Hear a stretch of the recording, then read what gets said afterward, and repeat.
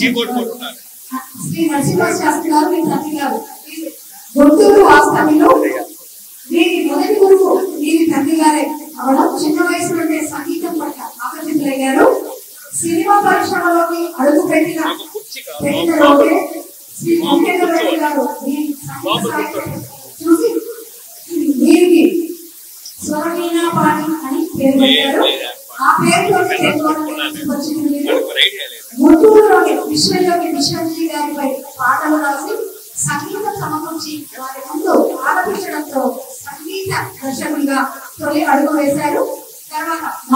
రావాలయ్యా అది.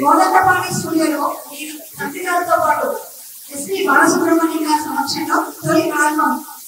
భక్తి చేశారు.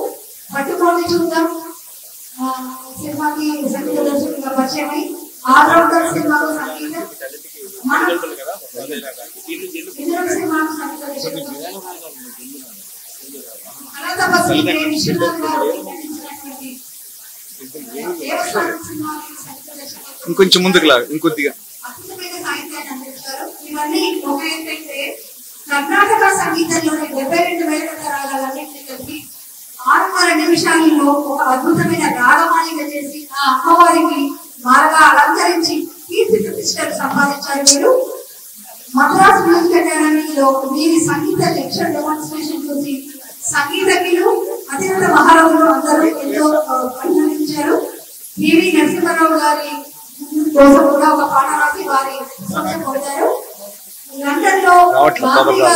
Aleluya.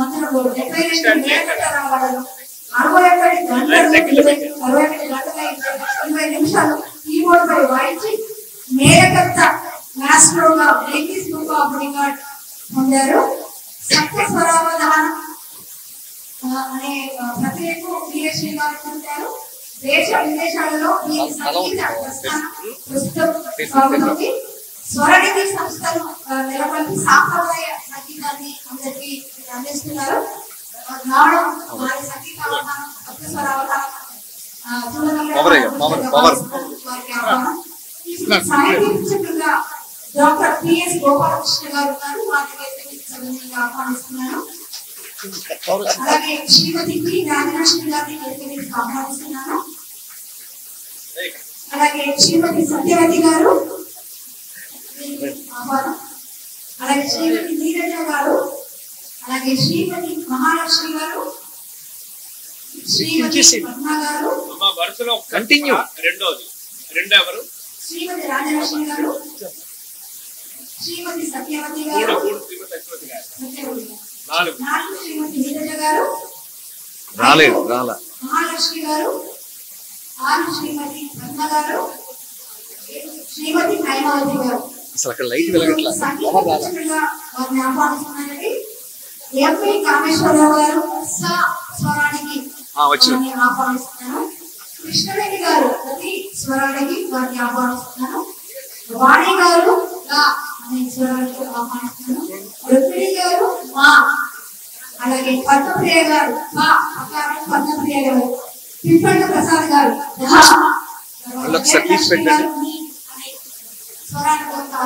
వచ్చింది. ధన్యవాదాలు.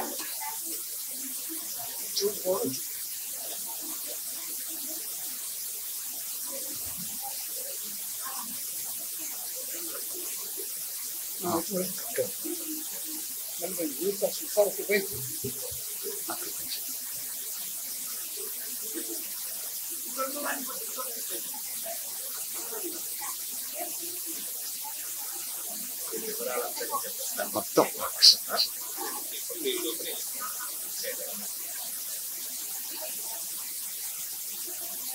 ఆ. మళ్ళీ పోయిందయ్యా అది సరిగా లేదు లూజ్ కాంటాక్ట్ ఉంది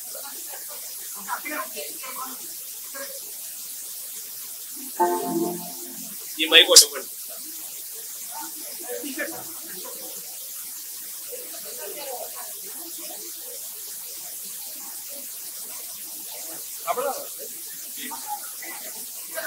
నాలుగున్నర. అమ్మా తబలా వారిని పిలవలేదు మీరు. తబలా వారిని ఆహ్వానించలేదు వీరికి అమ్మ తబలా వారిని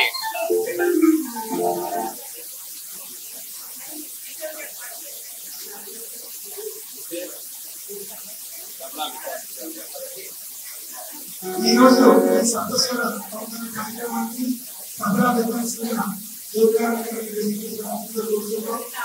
మరి ఈ కార్యక్రమం మొదలైనప్పుడు సామూహిక వారిగా ఎవరైనా పార్టీగా నేను లాస్ట్ ఇయర్ ఫస్ట్ టైం మానసికంగా ఇంకేలా కలుసుకోవడం జరిగింది రెండు గంటల పాటు ఆయన యొక్క బాబు మధ్యలో కాదు నా పక్కన కూర్చో. నిజంగా మరి చాలా అద్భుతంగా డెబ్బై రెండు మేకప్ రాగానికి ఒక పాటలో విమర్శించడానికి సామాన్య విషయం కాదు చాలా సంగీతకారుగా ఓడో మాత్రం ఓడో సగంలో ఉన్న నాకే ఆ కోసం కూర్చున్నప్పుడు చాలా అద్భుతం అనిపించింది ఇద్దరు సమానంగా ఒకటి రకాల మరి ఇప్పుడు మరి అవసరం లేదు. ఒక బడ్జెట్ స్టార్స్లో వస్తున్న మన సంగీత ధ్యానులు అందరికీ కూడా ఈ కార్యక్రమం చాలా బాగుంది. అనిపించింది అందులో ప్రత్యేకించి ఎంతో అయితే మనం చూడు పూజ చేసిన ఆయనకి సినీ రంగంతో పోలిస్తే చాలా చాలా చాలా తక్కువ. కానీ నమ్మించి మరి కాళ్ళకు కాళ్ళ చిన్నారు కాబట్టి అదే రప్పించుకుంటాము ఎన్నో మంది రమేష్ గారు ఆయన యొక్క అద్భుతమైన ఆ చక్రంతో మనం గడిపాము. అనుకోని కాలంలో వైజాగ్ వెళ్ళాల్సి ఉంటుంది మరి ఈ రోజు ఈ చూడమైన పాలిక ఫస్ట్ టైం స్పిరిచువల్ డాక్టర్స్ గారు కాకుండా కార్యక్రమంలో రెండు సంగీత వర్క్షాప్స్ సంగీతం జరగలేదు మరి ఈ విజయనగరంలో రప్పించుకుంది. మనం లలిత వాదన ఉంటుంది గట్టిగా చెప్పడంతో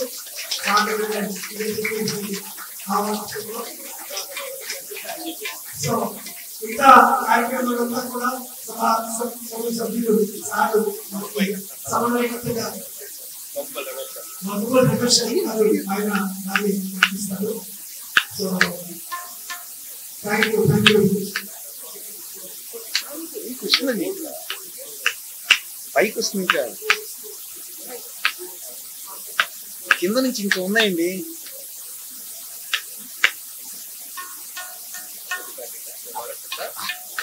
రైట్. హరి ఓం హరి ఓం. హరి ఓం గణదానగండం విడద్భృంగషండం జలచారు శృంగం జగత్ప్రాణ సౌంగం కరదంతకాండం విపద్భంగ చండం శివ ప్రేమ పిండం భజే వక్రతుండం భజే వక్రతుండం నమస్సభాయే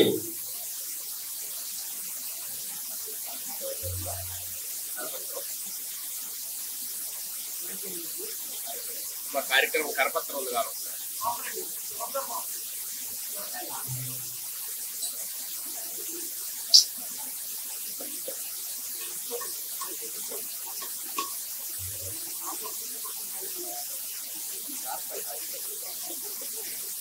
లేదండి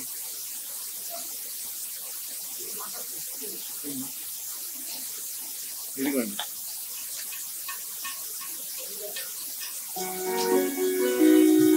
ఆనందో బ్రహ్మ ఉత్సవాలలో భాగంగా ఈరోజు స్వరనిధి గిన్నీస్ బుక్ రికార్డు గీత డెబ్బై రెండు మేళకర్త రాగాలను ఆరు నిమిషాలలో ఆరాధించినటువంటి సాక్షాత్తు సరస్వతి స్వరూపు శ్రీ భోగేరి వెంకటరమణమూర్తి గారు మన సన్నిధి అలా స్వరవీరపాడిగా ఈరోజు మనకి సుప్రసిద్ధులయ్యారు ఆ ఈ కార్యక్రమానికి నన్ను సభా సమన్వయకర్తగా ఆహ్వానం చేసినటువంటి ఆనందో ఉత్సవ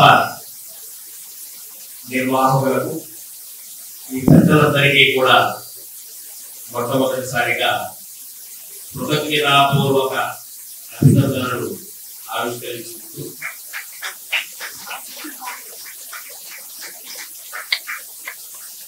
ఇది అందరికీ తెలుసు.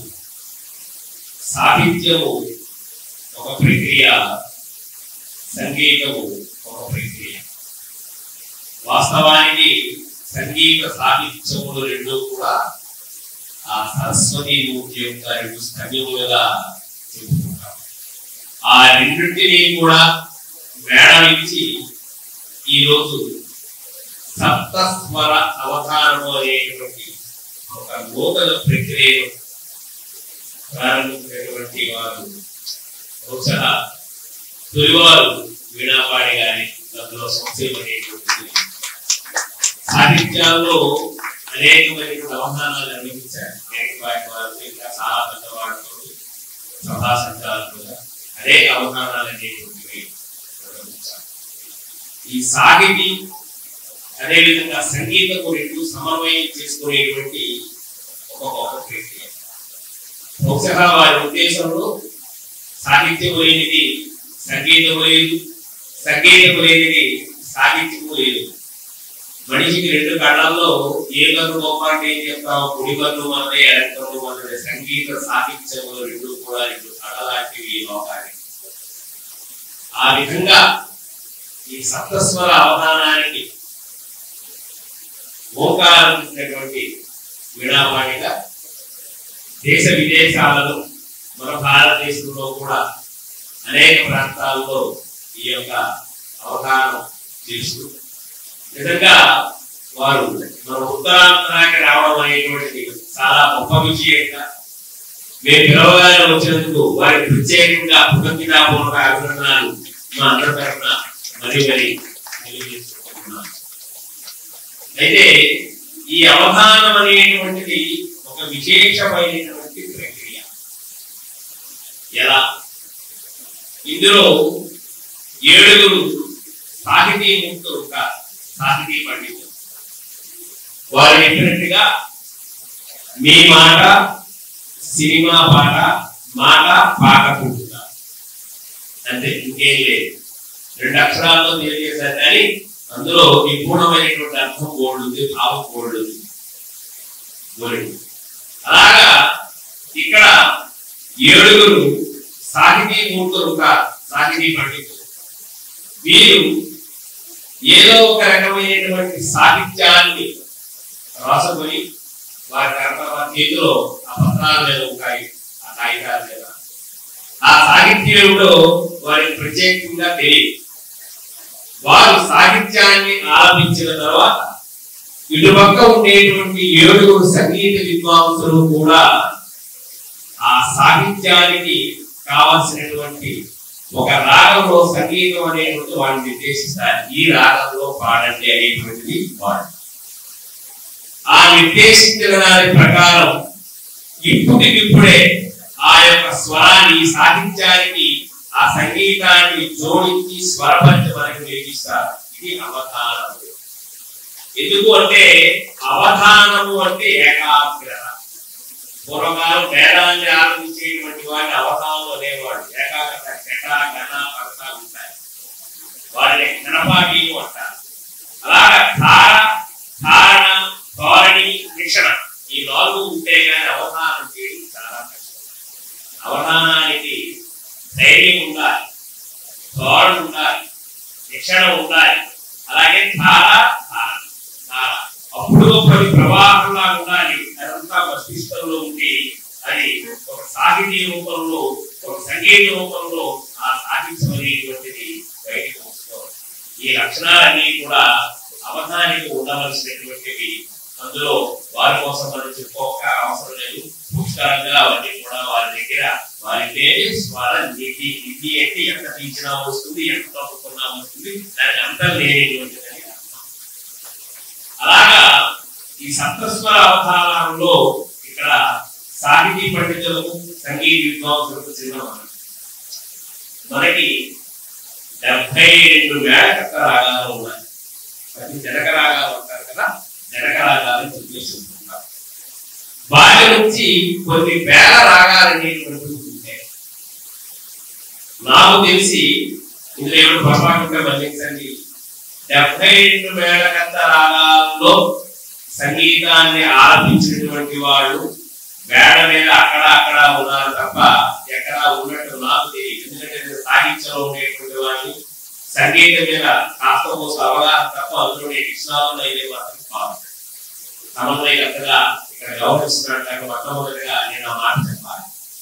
నేను కూడా ఈ విజయనగరంలో చదువుకున్నాను సంస్కృత కళాశాలలో చదువుకున్నాను.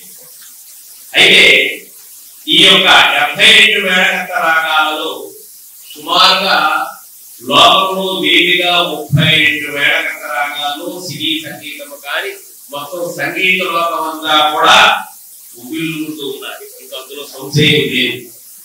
ఆ ఒక నలభై విడిచిపెట్టేశారు.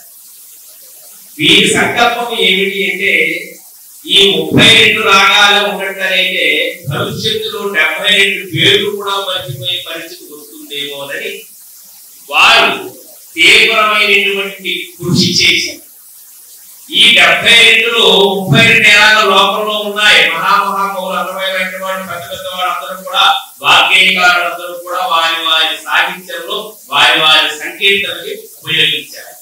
ఈ నలభై ఎక్కడా కనిపించటంలా ఆ మరుగుడు పడిపోయి ఆ మరుగుడు పడినటువంటి మహానుభావులతో నలభై మంది మహానుభావులు అంటారు. ఒక్కొక్క మేడకంత రాగాన్ని నేరైతే ఆ నలభై మంది మహానుభావులు వెలిగి తీసినటువంటి పెద్ద మహానుభావులు అందుకే ఈ రోజు ఈ సప్తస్వర అవధానంలో ప్రధానంగా వీరిచ్చేటువంటి ఏడు సాహిత్యానికి మీకు నలభై వేల రాగాలు ఇష్టమైనటువంటి అంటే ఇప్పటికి వాడుకలో లేకుండా ఉండేటువంటి అంటే ఈ ఉద్దేశం బహుశా నాకు తెలిసి ఏది అసాధ్యమనేటువంటిది కాదు సాధన సాధన సాహిత్య సాధన సంస్కృతంలో చెప్పినట్టుగా సాధన చేస్తే ఏదే సాధ్యం అవుతుంది మరి మిగతా వాడిని విడిచిపెట్టేసారనేటువంటి అప్రస్తుతం సంస్కృతంలో అవగాహన అప్రస్తుతం ఉంటుంది కాబట్టి అప్రస్తుతం మాట అందుకని చెప్పేసి వారు ఈ నలభై రాగాల్ని తీసుకొని ఇప్పుడు ఇప్పుడు చూడండి మీ అందరూ ఎక్కడ చూస్తారు వారి దగ్గర మనం సాధించగల వారు ఏం రాశారో వారికి తెలుసు.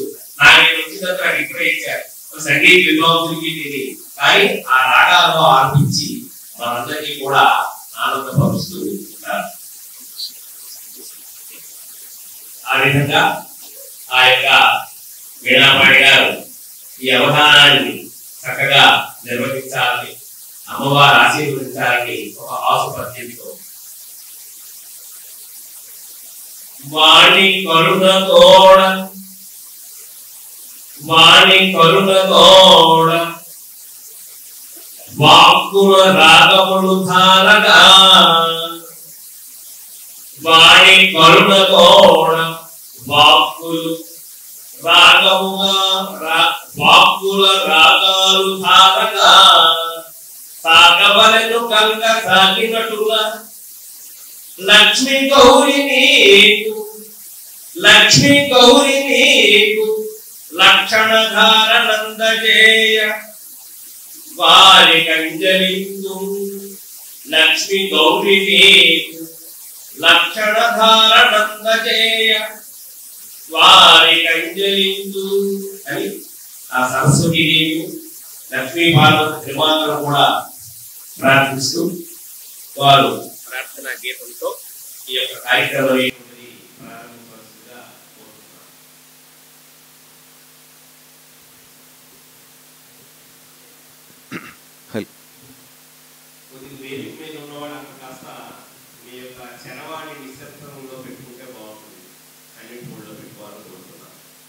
శ్రీ మహా సరస్వత్యై నమ సభాయై నమ మాతృదేవో భవ పితృదేవో భవ ఆచార్య దేవో భవ అతిథి దేవో భవ దైవో భవ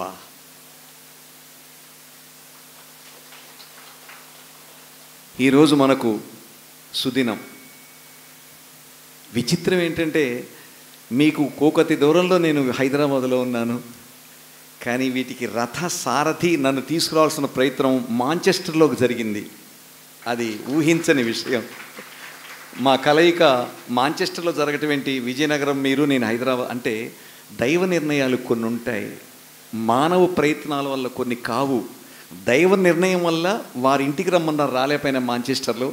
కానీ వారు సభకు వచ్చేసి ఆస్వాదించారు. డెబ్బై రెండు రాగాల గురించి నేను అక్కడ వచ్చి రాని ఇంగ్లీష్లో ఒక గంట గంటం బాబోయ్ ఏమో లెక్చర్ డిమానేషన్ ఇస్తే ఇందులో ఉన్న ఎసెన్స్ ఏదో మనకి కావాలి. ఇందులో something is there we have to put it on the dais at our ఆనంద బ్రహ్మోత్సవాలు అని వారు భావించి నన్ను ఇండియాలో వారు ఇక్కడికి ఆహ్వానించి వారు తీసుకొచ్చారంటే వారి సంస్కారానికి నేను చేయెత్తి నమస్కారం చేస్తున్నాను. మన సంస్కృతి కాపాడుకోవాలంటే మనకు సంస్కారం ఉండాలని కోట్లుంటే కుదరదు. కోట్లు అందరి దగ్గర ఉంటాయి. నోట్లు అందరి దగ్గరకు ఉంటాయి. ఆ సంస్కృతిని కాపాడాలనే సంస్కారం ఉండాలి.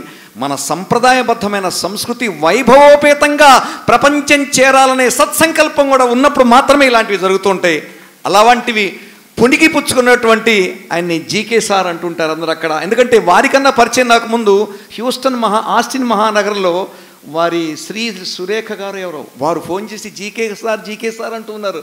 ఏమంటే నేను విన్నానండి వారు ఎక్కడో నాకంటే ఆవిడ ముందు నన్ను జీకే సార్ గారి గురించి ఆస్టిన్లో చెప్పి ఆనంద బ్రహ్మోత్సవాల్లో నన్ను పాల్గొనింపజేసి నేను చేస్తున్న మ్యూజిక్ థెరపీలో కూడా ఆవిడ పాల్గొన్నారు. అలా ప్రయాణం మొదలయ్యి ఈరోజు మహాదృష్టమైన సంగీతపు గడ్డ సంగీతపు సువాసన అనేటువంటిది సుగంధ పరిమళం ప్రపంచం మొత్తానికి విజయనగరం నుంచి ఖ్యాతిగా వెళుతున్నాయి. ఈ సంగీత ధ్వని సంగీత ఝరి ప్రారంభోత్సవ సభ విజయనగరంలోనే ఏనాడో జరిగిపోయింది.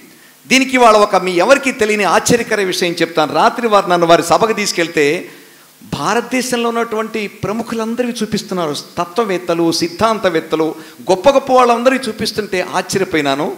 తెల్లవారుజాము నాకు ఒక మెసేజ్ వచ్చేసింది. మీరు ఆశ్చర్యపోతారండి. హాలియా అనే ఊరుందా ఇక్కడ దగ్గరలోనే? విజయనగరం దగ్గర హాలియా అనేది ఉంది కదా? మీకు తెలిసి ఉండొచ్చు హాలి అనేటువంటి ఊరుంది విజయనగరం దగ్గర. పదిహేడు వందల శతాబ్దంలో ఇక్కడ ఒక త్రైలింగ స్వామి అనే ఒక గొప్ప మహానుభావుడు పుట్టాడు ఈ గ్రామంలో. ఒకసారి కలతాల ధ్వనులు చేయండి. నేను చెప్పేది మొత్తం ఆశ్చర్యమే. ఆయన రెండు వందల ఎనభై సంవత్సరాలు బ్రతికారు. రెండు వందల ఎనభై సంవత్సరాలు యోగిలాగా బతికాడు ఆయన. ధ్యాన మందిరం కాబట్టి చెప్తున్నాను నేను. రెండు వందల ఎనభై సంవత్సరాలు పుట్టారు. వాళ్ళ నాన్నగారి పేరు నరసింహారావు గారు వాళ్ళ అమ్మగారి పేరు విద్యావతి. ఆయన పుట్టినప్పుడు ఆయన పేరు శివరామయ్య ఆయన పేరు. శ్రద్ధగా వినాలండి. కొన్ని మహత్తరమైన విషయాలు. రాత్రి ఇన్స్పైర్ అయినా నేను వేదిక మీద వారు ఏమిటి? ఇక్కడేమో పాటలు పద్యాలు జరుగుతున్నాయి. వెనకాల మహానుభావులందరూ వేస్తున్నారే. సత్య సాయిబాబా షిరిడి సాయిబాబా ధ్యాన ముద్రలో మనల్ని తీసుకెళ్ళాలి మనల్ని తరింపజేయాలి మహానుభావులందరూ వేస్తున్నారు అంటే తెల్లవారుజామున నాకు ఎల్వి సుబ్రహ్మణ్యం గారు తెలియని వ్యక్తి లేరు కదా టీటీడీలో ఆయన మన ఈవో ఎగ్జిక్యూటివ్ ఆఫీసర్గా చేశారు. ఈ కార్యక్రమాలను చూసి నాకు మెసేజ్ పెట్టారు ఆయన. వీణాపాణి గారు రేపు మీరు విజయనగరం మహానగరంలో ఈ విషయం గురించి మీరు చెప్పాలి అన్నారు. ఆ మహానుభావుడు పదిహేడో శతాబ్దం నుంచి పద్దెనిమిదో శతాబ్దం వరకు ఉన్నారు. త్రైలింగ స్వామిగా కాశీలో ఆయన స్వామి దగ్గరికి వెళ్ళిపోయినారు. ఆ శివుడికి ఏకమైపోయినారు. రెండు వందల ఎనభై సంవత్సరాలు బ్రతికాడండి విజయనగరం గడ్డ మీద పుట్టిన వ్యక్తి పదిహేడో శతాబ్దంలో. కరతార్థంలో తెలియజేసి మనందరం గొప్పతనాన్ని తెలియజేసుకున్నాం ఈ గడ్డ ఎంత గొప్పదో. సంగీతమే కదా సాహిత్యం కాదు. ప్రతిదీ గొప్పతనం ఏం చేసినా కూడా. ఆయన ఏం చేశారంటే ఒకసారి రామేశ్వరంలో ఒక పిల్లవాడు చనిపోతే అతని శవాన్ని తీసుకెళ్తున్నారు. ఆయన వచ్చేసి ఆయన కలసంలో ఉన్న నీళ్ళు తీసి అలా మంత్రించేశాడు. ఆ పిల్లవాడు బ్రతికాడు. నేను ఎక్కడో చెప్పట చరిత్రలో చెప్తున్నా ఆ పిల్లవాడు బ్రతికాడు. బ్రతికాడు బ్రతికాడు. చరిత్రలో ఉంది. మీరు ఇంటికి వెళ్ళిన తర్వాత త్రైలింగ స్వామిని కొట్టి చూడండి. మీ ఊరు గొప్పతనం మన భారతదేశ గొప్పతనంలో మన విజయనగరం ఎంత ఉందో మీకు తెలుస్తుంది. హాలి అనే నగరం ఊళ్ళో పుట్టాడు. ఆయన ఇక్కడి నుంచి నార్త్ వెళ్ళి హిమాలయాలు వెళ్ళి టిబెట్ వెళ్ళి ఇతర దేశాలకు కూడా ఆ శతాబ్దంలోనే వెళ్ళాడండి. ఇవాళ నేను వెళ్ళటం కాదు గొప్ప. టిబెట్ వెళ్ళాడు సింగపూర్ వెళ్ళాడు. బోల్డైన దేశాలు ఆయన తిరిగాడండి. ఆ రోజుల్లోనే తిరిగి మన భారతీయత్వాన్ని బోధించి మన సంగీతం గొప్పతనాన్ని చెప్పి మన ఈ జీకే గారు దేనికోసమైతే ఆయన తప్పిస్తున్నారో ధ్యానం యోగం గురించి ఆయన చెప్పారు ప్రపంచానికి. అందుకు ఇవాళ వారిని ఇక్కడికి తీసుకొచ్చాను. కాబట్టి అలాంటి మహానుభావుల చరిత్రతో పునీతమైన పొలకింతలు తొక్కుతున్న విజయనగరంలో నేను కూడా గతంలో ఇక్కడ సంగీతం విద్యార్థిగా నేను ఎప్పుడు నిత్య విద్యార్థినే. చెప్పింది వినటం తప్ప నాకు ఏది తెలియదు. డెబ్బై రెండు రాగాలు తెలుసుకున్న తర్వాత నాకు తెలిసిన సత్యం ఏంటంటే నాకు సంగీతం రాదు అని తెలుసుకున్నాను. డెబ్బై రెండు మేళకర్త రాగాలు వచ్చిన తర్వాత అది సత్యంగా భావిస్తున్నాను. కాబట్టి ఇప్పుడు మన అవధాన కార్యక్రమాలు మొదలు పెడదాం అవధాని కార్యక్రమాల యొక్క పని మొత్తం సులువు చేశారు. ఆయన మొత్తం మాట్లాడేశారు. ఆయన ఇంకా నేను మాట్లాడాల్సింది ఏమీ లేదు. నా మీద బాణాలు ఎక్కువ పెడుతుంటే ఆ బాణాలను ఎదుర్కోవటమే. అయితే ఒక్క విషయం వారు చెప్పలేదని నేను చెప్పాలి. శ్రద్ధగా వినండి. నూతన పరిమళం ఉంటేనే నేను వేదిక ఎక్కుతాను. పాడిందే పాటరా అంటే నేను వేదిక ఎక్కను ఎక్కడికి వెళ్ళినా. ఎందుకు ఇక్కడ వచ్చి కూర్చున్నానంటే సంపూర్ణ రాగానికి ఇతంత సబ్జెక్ట్ మాట్లాడుతుంది ఇది subject what we are going to do all these things here సంపూర్ణ రాగం అంటే ఏమిటండి? సప్తస్వరాలు. సప్తస్వరాలు అంటేనండి ఏడు. సా రి గా మా పా దా ని. అందరికీ తెలుసు కదా? దీన్ని మన వాళ్ళు ఏమని పిలుస్తారండి? సంపూర్ణ రాగము అంటారు. ఏమంటారు చెప్పండి? సంపూర్ణ రాగం అంటే అర్థం ఏంటండి? సం సప్తస్వరాలతోటి సంపూర్ణంగా అన్నిటినీ పలికించే శక్తి ఉన్నప్పుడు మనం దాన్ని అర్థం చేసుకో మనం ఏం చేస్తామంటే కళ్యాణి రాగంలో ఈ భావమే పలుకుతుంది. శివరంజన్ రాగంలో ఈ భావమే పలుకుతుంది.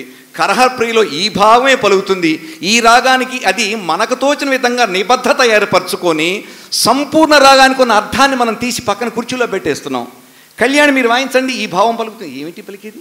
సంపూర్ణ రాగం అంటే సమస్త భావాలు పలికించే శక్తి సంపూర్ణ రాగంలో ఉండబట్టి వాళ్ళు పేరు పెట్టారు సంపూర్ణ రాగం అని సంగీతం చెప్పేవాళ్ళు నేర్చుకునేవాళ్ళు తెలుసుకోవాలి. అసంపూర్ణ రాగం కాదు. డెబ్బై రెండు మేళకర్త రాగాలు సంపూర్ణ రాగాలు. ఇప్పుడు నేను చేసే ప్రక్రియ ఏంటంటే ఇప్పుడు రాగాల గురించి డెబ్బై రెండు రాగాల గురించి వచ్చేద్దాం సబ్జెక్ట్ మొదలు. ఇందు నేత్ర అగ్నివేద బాణ ఋతు ఋషి వసు బ్రహ్మ దిశి రుద్ర ఆదిత్య. ఈ పన్నెండు యొక్క చక్రాల పేర్లలో ఒక్కొక్క చక్రానికి ఆరు రాగాలు చొప్పున డెబ్బై రెండు మేళకర్త రాగాలు నిగుళీకృతమైనవి.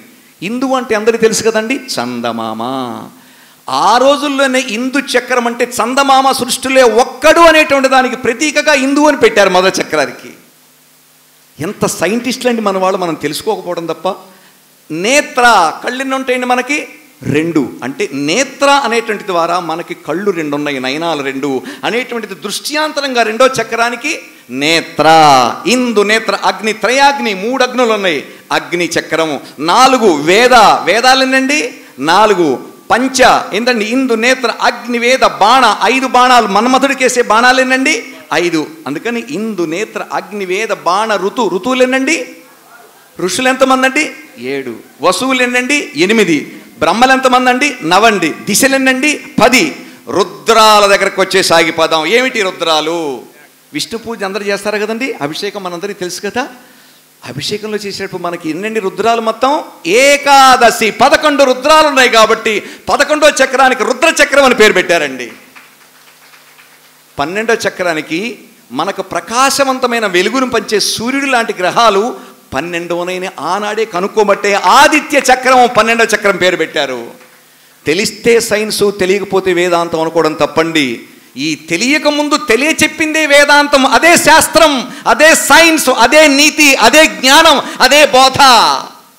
భారతీయులు ఎప్పుడో తయారు చేసిన వాటిని ఇతర దేశాలకు వెళ్ళిపోయి వాళ్ళు తర్జుమా చేసుకొని అల్లాడు చస్తున్నారు. ప్రతిరోజు మనకన్నా సంస్కృతం నేర్చుకొని అర్థాలు రాసుకోలేక చస్తున్నారు వాళ్ళందరూ. మనం వాటన్నిటిని గోడలకు అప్పచెప్పిన క్యాలెండర్ లాగా పుస్తకాలు పడేసి వాటిని మర్చిపోయి వాళ్ళు ఇంగ్లీషులో రాసింది చదువుకుంటున్నాం.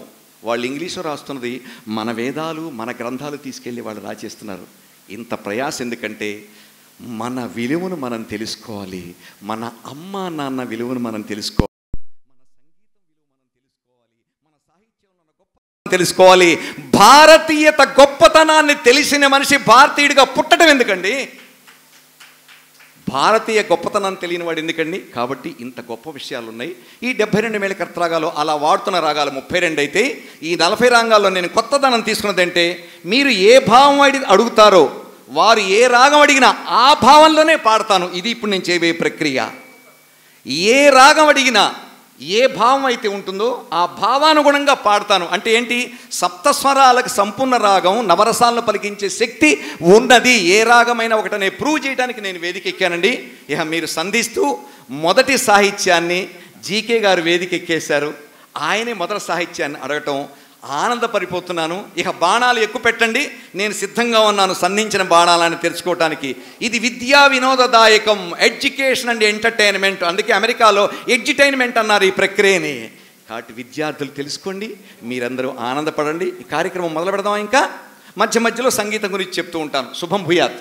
మైక్ తీసుకోండి వీణాపాఠ గారు చెప్పిన దానికి అది వాస్తవం వేదంలో ఉంది చంద్రమామ సోజాత చక్షు సూర్యో అజాయత మనస్సుని చంద్రుడితో కళ్ళ సూర్యుడితో అగ్నేయించి త్రినేత్రంతో పోలుస్తూ ఉన్నారు ఇది వేద సమన్వయ విషయం సాహితీ పండితులు ఒక చిన్న సూచన మీరు కేవలం మీ సాహిత్యాన్ని పాడకూడదు. తప్ప పాడకూడదు. పాడకూడదండి. పాడితే ఇంకా నేను ఎందుకు ఎందుకు పాడకూడదో చెప్తాను. అవధానంలో సమస్య ఉంటుంది నేను గుర్రానికి కాళ్ళు లేవు కొమ్ము ఒక్కటి గుర్రానికి కాళ్ళు ఏర్పడడం ఏంటి? అది అవధానంలో సమస్య కొమ్ము ఒక్కటి లేదు, కొమ్ముతో ఉంది కవి ఆ యొక్క అవధాని దానిని సాహిత్యంలో చదరంగంలో పూర్వంగా వారి శరీర పూర్వంగా చదరంగంలో పూర్వాలు కొమ్ముతో చేసేవారు మరి ఆయన ఆ పఠించడానికి సావధానంగా ఏ పని చెప్తారు చెప్పడానికి అవ్వదు కాబట్టి కేవలం సాహిత్యం వాళ్ళు సాహిత్యాన్ని వచన రూపంలోనే నేర్పిస్తారు అండి తర్వాత ఈ సాహిత్యం వాళ్ళ పేరు ఆ ఆ ఈ ఈ ఉ ఊ పెట్టారు చూసారా సంగీతం కాదండి.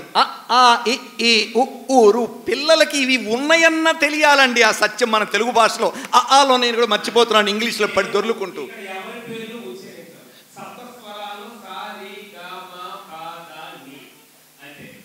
ఇప్పుడు అ అనేటువంటి వ్యక్తి మొట్టమొదటి అక్షరం ఆయన లేచి ఇప్పుడు ఆయన సాహిత్యాన్ని చదువుతారు. శ్రద్ధగా విందాం అనేటువంటి ఆయన అకార ప్రారంభాక్షరం బ్రహ్మాండం అద్భుతం ఆనందో బ్రహ్మ అందులోనే ఉంది ఓ, బ్రహ్మాండం. ప్రారంభిస్తారు వారి సాహిత్యాన్ని కోరుతున్నాం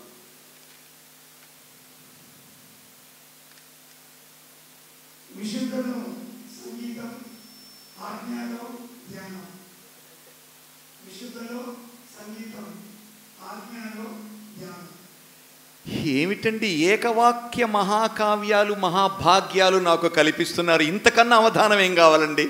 నాలుగు లైన్లు చదవండి చాలు అంటే ఆయన నాలుగు అక్షరాలు కాదండి నాలుగు నాలుగు మాటలు ఇచ్చారు. ఏంటది? విశుద్ధలో సంగీతం ఆజ్ఞలో ధ్యానం. ఇంకా అయిపోయిందండి మొత్తం ముడిపెట్టి మొత్తాన్ని ఇక్కడ పెట్టారు. ఇప్పుడు నేను పాడాలి. ఇక రాగాన్ని అడగండి. సంగీతం విశుద్ధలో సంగీతం ఆజ్ఞలో ఇక మీరు సప్తస్వరాల్లో సావారు. మీకు ఇచ్చినటువంటి నలభై రాగాలు ఎందులో ఆలపించాలో మీరు చెప్పండి వారు. ఆ, మైక్ మైక్. ఆ, ఆ. అయ్యా అడగండి. నా పేరు నేను బయలు కళాకారుడిని వినడం అకారంతో మొదలు పెట్టాను విషితంలో సంగీతం మీరు రాగం అడగండి సరిగమపదనిలో సాకోనే మొదలవుతుంది కాబట్టి నేను సాకో వచ్చిన రాగంతో ప్రకారం మంత్రం మీరు రాగం అడగండి.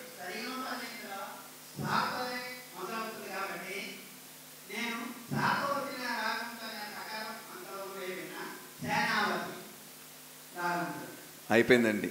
ఈయన ఏమడిగారండి మనకి? ఇందు చక్రంలో మొదట ఆరు రాగాలు ఉన్నాయండి. కనకాంగి రత్నాంగి గానమూర్తి వనస్పతి మానవతి తానరూపి. ఆరు అయిపోయినాయి కదండి. ఏమండి ఇది విషయం ఎప్పుడు మీకు చెప్తూ ఉంటా? ఎందుకు తెలిసిన? పిల్లవాడు బయటికి వెళ్తున్న ప్రతిసారి కూడా నాయన తగాదాలు పెట్టుకోబాకరా నాయన గౌరవంగా ఉండరా మా పరువు మర్యాదలు తీయబాకరా ఏదైనా అవసరమైతే నన్ను అడగరా పిల్లల దగ్గర ఇది దొంగిలించబాక రోజు చెప్పాలి తల్లిదండ్రులు. తప్పు ఏమీ లేదండి. మన బిడ్డ తప్పు చేసిన తర్వాత దిద్దుకునే కన్నా తప్పు చేయకముందు రోజు అన్నం ముద్ద పెట్టినట్టుగా ఇవి చెప్పడంలో తప్పు లేదమ్మా. అలానే నేను చెప్పి నా బరువు దించుకోవటానికి వచ్చాను కాబట్టి ప్రతిసారి డెబ్బై రెండు రాగాల పేర్లు చదువుతూనే ఉంటాను. ఇప్పుడు నేను చదువు ఏమి చదివిన రాక అర్థమైంది? ఇప్పుడు వినండి సబ్జెక్టు. కనకాంగి రత్నాంగి గానమూర్తి వనస్పతి మానవతి తానరూపి సేనావతి రూపవతి గాయక ప్రియ హటకాంగరి ఝంకారధ్వని వరుణప్రియ మారరంజని నాగానందిని యాగప్రియ రాగవర్ధని గాంగేయభూషణి వాగతీశ్వరి శూలిని చలనాట సాలగం జలార్ణవం ఝాలవరాళి నవనీతం పావని రఘుప్రియ గవాంబోధి దివ్యమణి ధవళాంబరి విశ్వంబరి శ్యామలాంగి నీతిపతి కాంతామణి చిత్రాంబరి సుచరిత్ర జ్యోతిస్వరూపిణి ధాతువర్ధని నాసికాభూషణి కోసలం రసిక ప్రియ డెబ్భై రెండు మేళకర్త రాగాల్లో మనం మర్చిపోతున్న రాగాలు మనం పరిచయం చేయని రాగాలు అద్భుతమైన అపూర్వమైన జ్ఞాన సంపద మూటగట్టుకున్న నలభై రాగాలు ఏం పాపం చేశాయని మనం పాడలేకపోతున్నాం. రేపటి తరానికి మనం అందించలేకపోతున్నాం. డాక్టర్ టిఎన్ కృష్ణ అన్నారు మంగళంపల్లి గారిలో it's in nothing but an expert dictionary to the next generation if it can be communicated in a proper way to the next generation wonderful compositions will be flourished in the world ఆ మహానుభావుడికి మీ కర్తాల దోలలు తెలియచేయండి ఆయన నాకు ఉద్బోధించారు ఇది రేపటి పిల్లలకి చెప్పాలయ్యా. ఆరు నిమిషాలు చేసేవాడు చెప్పగలుగుతున్నాం మేము చెప్పలేక తప్పించుకుంటున్నాం. మాకు వచ్చుగానే బిడ్డలకు తెలియదన్నారు. సేనావతి రాగంలో ఈ సాహిత్యం అడిగారండి. ఎలా వెళుతుంది? అమ్మవారే నిర్ణయిస్తారు నాకు తెలియదండి. ఈ సేనావతిలో రిథం ప్రకారంగా అనుకున్నారు కదండి. ఇది భగవంతుడి లయలో వెళ్ళేటువంటి కీర్తన అండి. దీనికి రిథం ఉండదండి. ఆ సాహిత్యం చూడంగానే పులకించిపోయింది. సేనావతి అంటే నేత్ర చక్రంలో మొదటి రాగం మొత్తం డెబ్బై రెండు రాగాలు ఏడవ రాగం. అసలు ఆ సేనావతి ఎలా ఉంటుందో తెలుసుకుందాము ముందు. అందుకోసమే నేను ఇక్కడికి వచ్చి కూర్చున్నాను సేనావతి రాగం.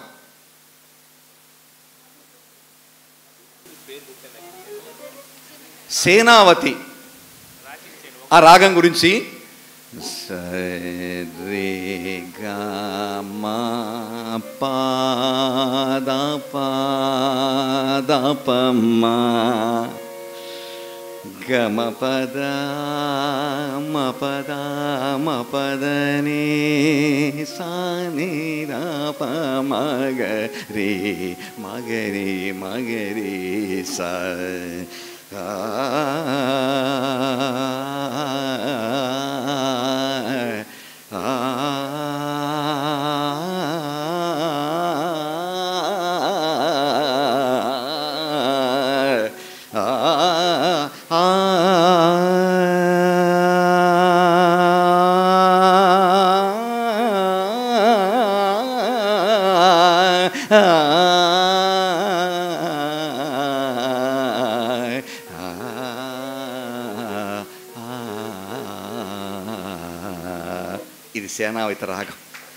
ఈ రాగం ఏం పాపం చేసుకుంది మనం కంపోజిషన్స్ లేకుండా చేసుకోవడం కోసం? ఈ రాగంలో ఇప్పుడు జీవి గారు ఇచ్చారు జీకే గారు ఇచ్చారు. ప్రపంచమంతా వెళ్ళిపోయి ధ్యానంలో అడిగారు కాబట్టి ఆ ధ్యాన ముద్ర నా గాథల నుంచి ప్రయత్నం చేస్తానండి.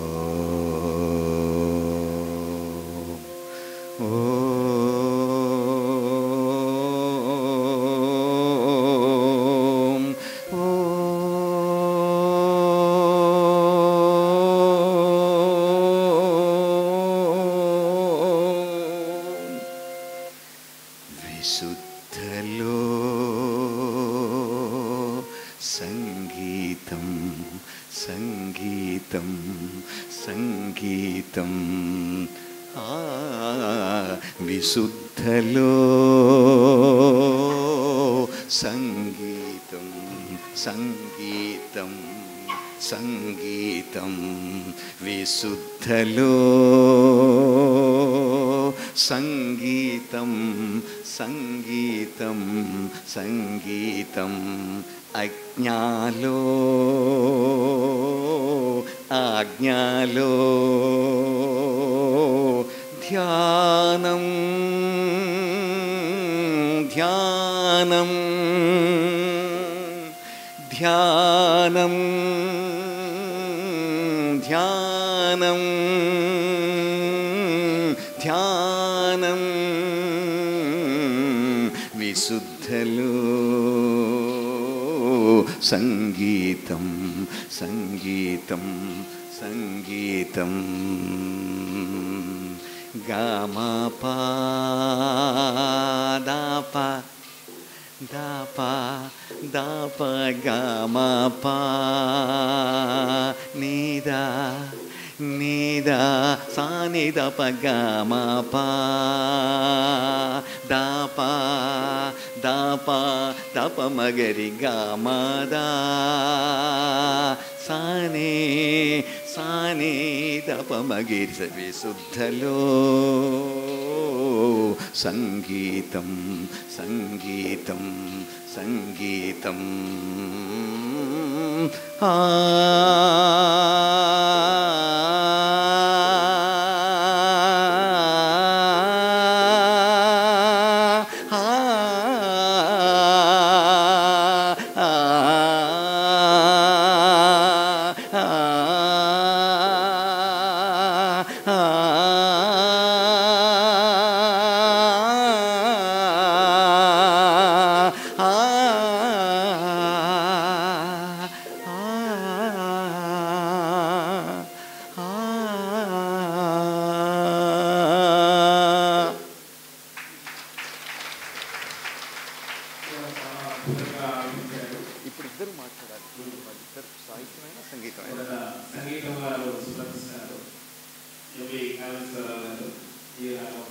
స్పందించండి మీ స్పందన. విన్నారు కదా.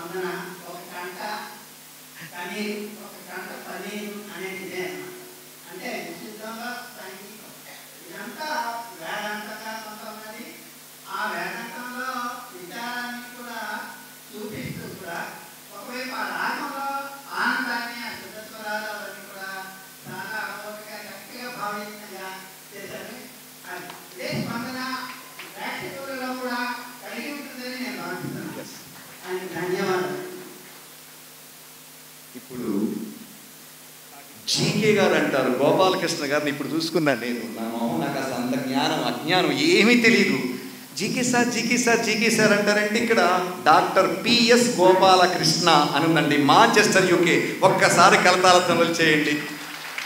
ఏమండి? ధ్యానం చేసుకోవటం నేను జ్ఞానం అనుకుంటానండి. నా భార్యకి చెప్పడం అజ్ఞానం అనుకుంటాను.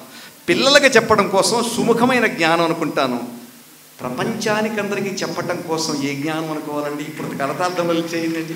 ఎందుకండి ఆయనకి తిప్పలు ఇన్ని లక్షలు ఖర్చు పెట్టి ఇన్ని వేల మందిని దేశం నుంచి తీసుకొచ్చేసి డ్యాన్సులు వేయిస్తూ చిందులు వేయిస్తూ ఏం చెప్తున్నారండి? నాయన ట్యాబ్లెట్ ఏంటి? ఏమిటి వారి దృష్టిలో తెలిసినా మనం ట్యాబ్లెట్ మింగితే జబ్బులు పోతాయి. ఈ ధ్యానం అనే ట్యాబ్లెట్ మింగితే మన బాధలు పోతాయి. మనం హాయిగా ఉంటాము. మానసిక ప్రశాంతత వస్తుంది. ఆనందంగా ఉద్వీనంగా రేపు చేయి పని ప్రశాంతంగా పడుకుంటాం.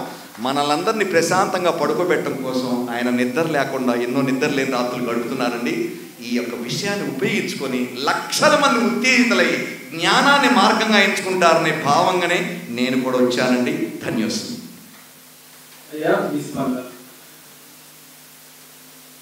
అద్భుతం సార్. ఎందుకంటే ఎన్నో థైరాయిడ్ కేసులు ఎన్నో కాటన్ కేసులు నేను రెండు టాబ్లెట్లు నేను రెండు టాబ్లెట్లు ఇచ్చాను. కానీ ఇంకా బాడీ అద్భుతంగా ఎక్కడైతే ఒత్తి ఇస్తే అది మరింతగా అద్భుతంగా ఉంటుందో అక్కడ మూడు సార్లు దాన్ని చేస్తూ సరైన చోట మీరు దానికి స్ట్రెస్ కూడా కరెక్ట్గా దాన్ని స్ట్రెస్ ఒక ముఖ్యమైన విషయం. ఒక పామరుడు కూడా అర్థమయ్యేలాగా చాలా సున్నితంగా చేయగా అన్నట్టుగా మీరు అద్భుతంగా విషయాన్ని ధన్యస్మండి ధన్యోస్మి. రాగం బాగానే ఉందని ఆయన అన్నారు. భావం బాగా ఉందని ఆయన అన్నారు. రెండు కలిపి ఏ రాగంలోనైనా ఏ భావం ఇమిడిపోతుందనే కొత్త సిద్ధాంతానికి మీరందరూ సాక్షీభూతంగా ఉన్నారు. ఇప్పుడు అందుకోండి రెండో సాహిత్యం.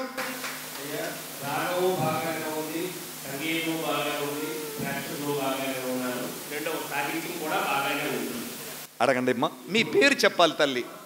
ఆ.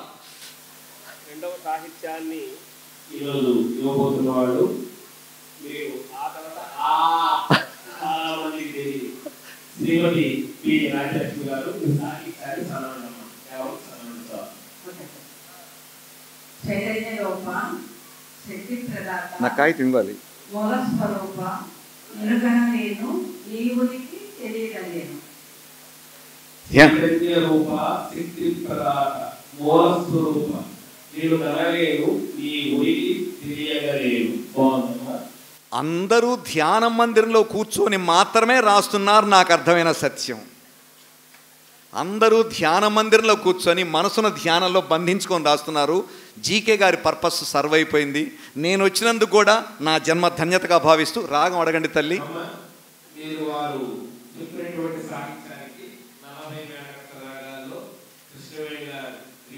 మీ పేరు చెప్పండి అమ్మా రి ఈ- అసలు ఇప్పుడు ఇక్కడ రూపం పేరు చెప్పండి. రీ చెప్పండి. రీ చెప్పండి ఒకసారి మీరందరూ రీ అనండి ఒకసారి. సా రీ ఇవి అనండి అమ్మా జన్మ ధన్యం అవుతుంది మూలాక్షరాలు అవి రీ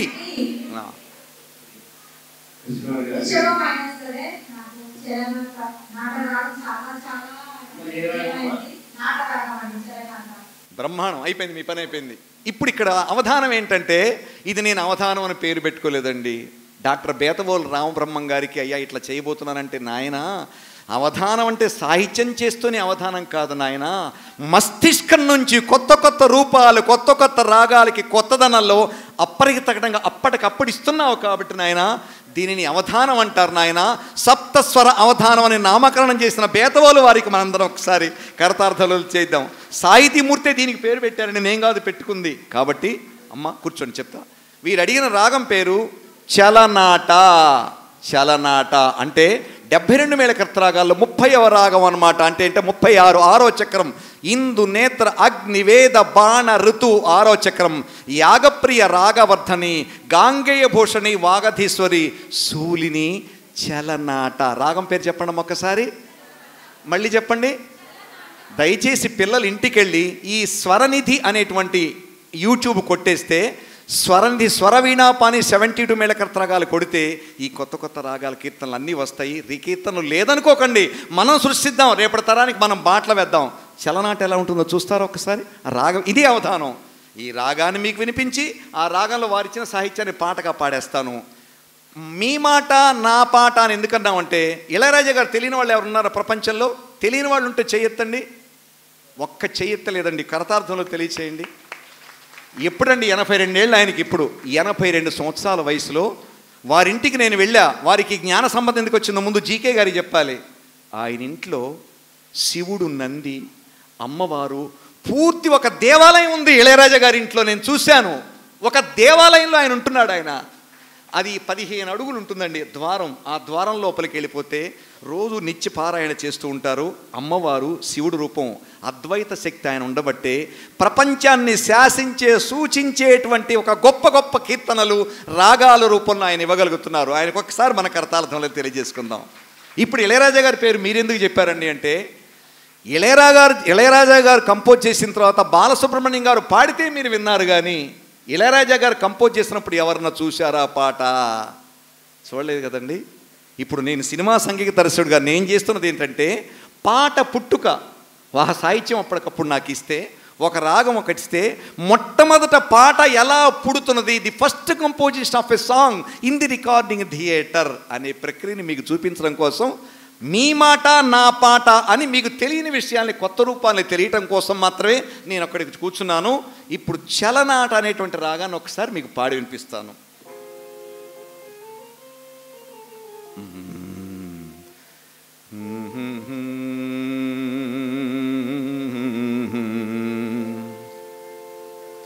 లలలా la la la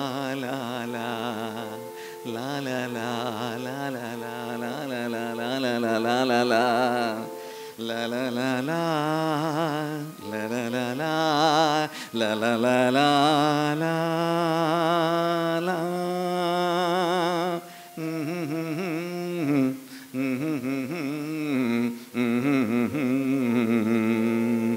Gama pama gama pama gama pama gama pama re sa గమ పమ గమ పమ గమ పమ గమ పమ నీ స ని ద ప మ గ గమ పదాపమగ దిగమ పదాపమగ దిగమ పద నీ దా పమగ దిగమ పద నీ సా నీ దా సరిగ సరిగ సరిగ రే సా.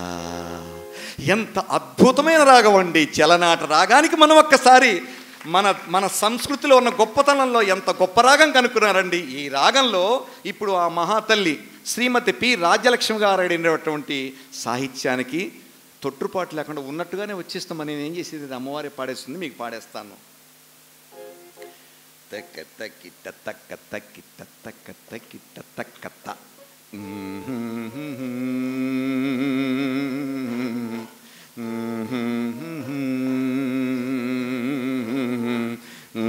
na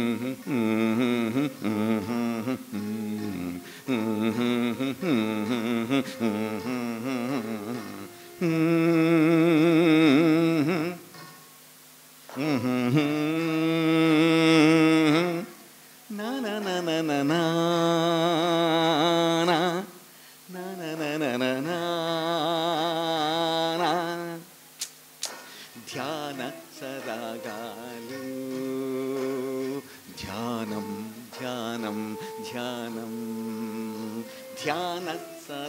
సరాగాలు పాటల రచయిత్రి ధ్యాన సరాగాలు పాటల రచయిత్రి. ధ్యానం ధ్యానం.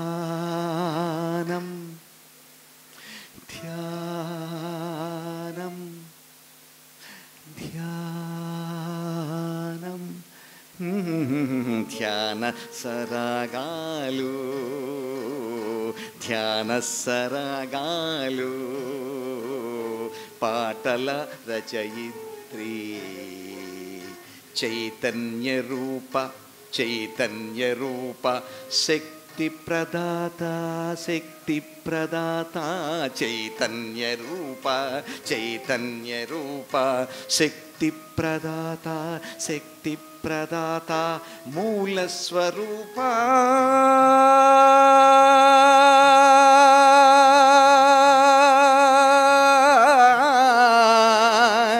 నా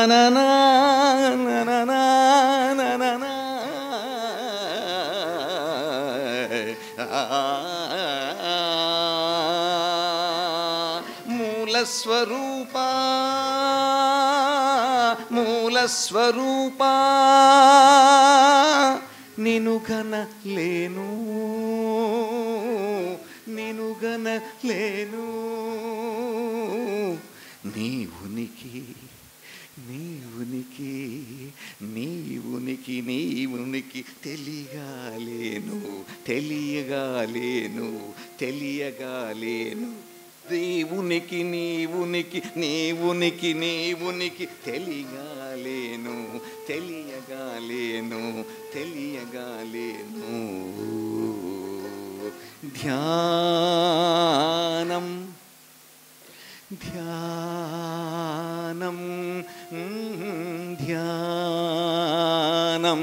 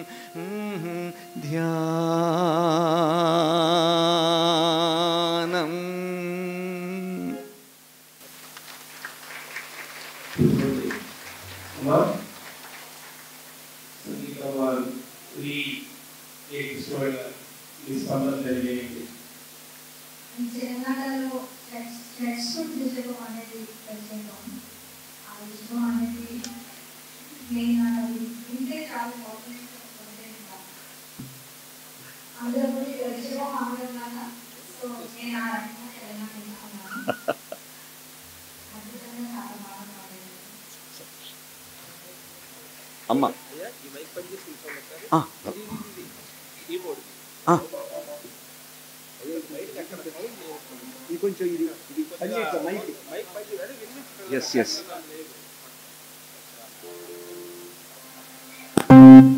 రైట్ రైట్ అమ్మా మాట్లాడండి సంగీతం సంగీతం పెద్దగా తెలియదు ఇప్పుడు నేర్చుకుంటున్నాను నేను ఒకరోజు అసలు నేను ఎలా ఉంటున్నాను నేను ఎవరు అని ప్రశ్న జనంలో ఉన్నప్పుడు ఆ చైతన్యం శక్తి నడుస్తుంది కానీ ఆ లోపం ఉందని ప్రశ్నించిన ఇక్కడ ఉంది అక్కడ ఉందని చెప్పలేము దాన్ని ఎలా తక్కువ కనుక్కోలేం తెలియలేదు. తెలియదు. తెలియదు కాదు అది.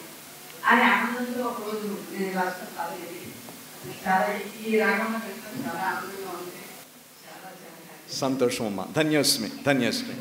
ఇక మూడవ రాగం సంధించండి. మూడవ సాహిత్యం మూడవ బాణం. స్వర బాణాలు సాహితీ బాణాలు. కానివ్వండి.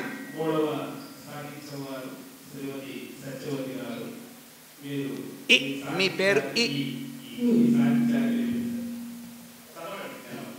ఆ, స- విజయానికి పొంగిపోకు అపజయాన కుంగిపోకు కష్టపడి సాధిస్తే సంచలనం నీ విజయం అవమానం సన్మానం చిరకాలం ఉండిపోవు.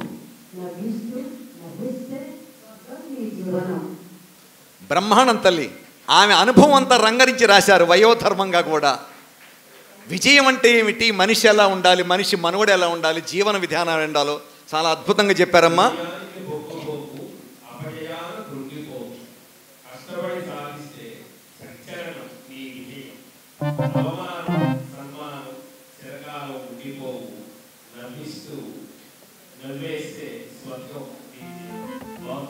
చాలా బాగుంది. రాగం అడగండి.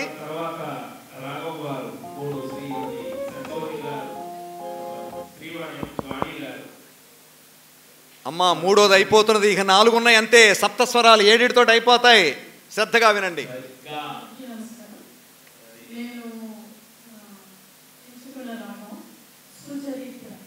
బ్రహ్మాండం. ఇప్పుడు ఆ రాగం అడిగారు కదండి ఎందుకు ఆ రాగం అడగమన్నాడంటే సుచరిత్ర అనే రాగం మనకు వినపడదు కాబట్టి మనకెక్కడా కనపడదు కాబట్టి ఏమండి సైంటిస్టులు ఏదో పేటెంట్ అనే విన్నారా చాలామంది? పేటెంట్ అంటే తెలుసు కదా కాపీరైట్ పేటెంట్ అని. ఎవరికి ఇస్తారండి పేటెంట్ ప్రపంచంలో? ఏదైనా కొత్తది కనుక్కున్న వాడికి ఇస్తాడు అవునా కాదా?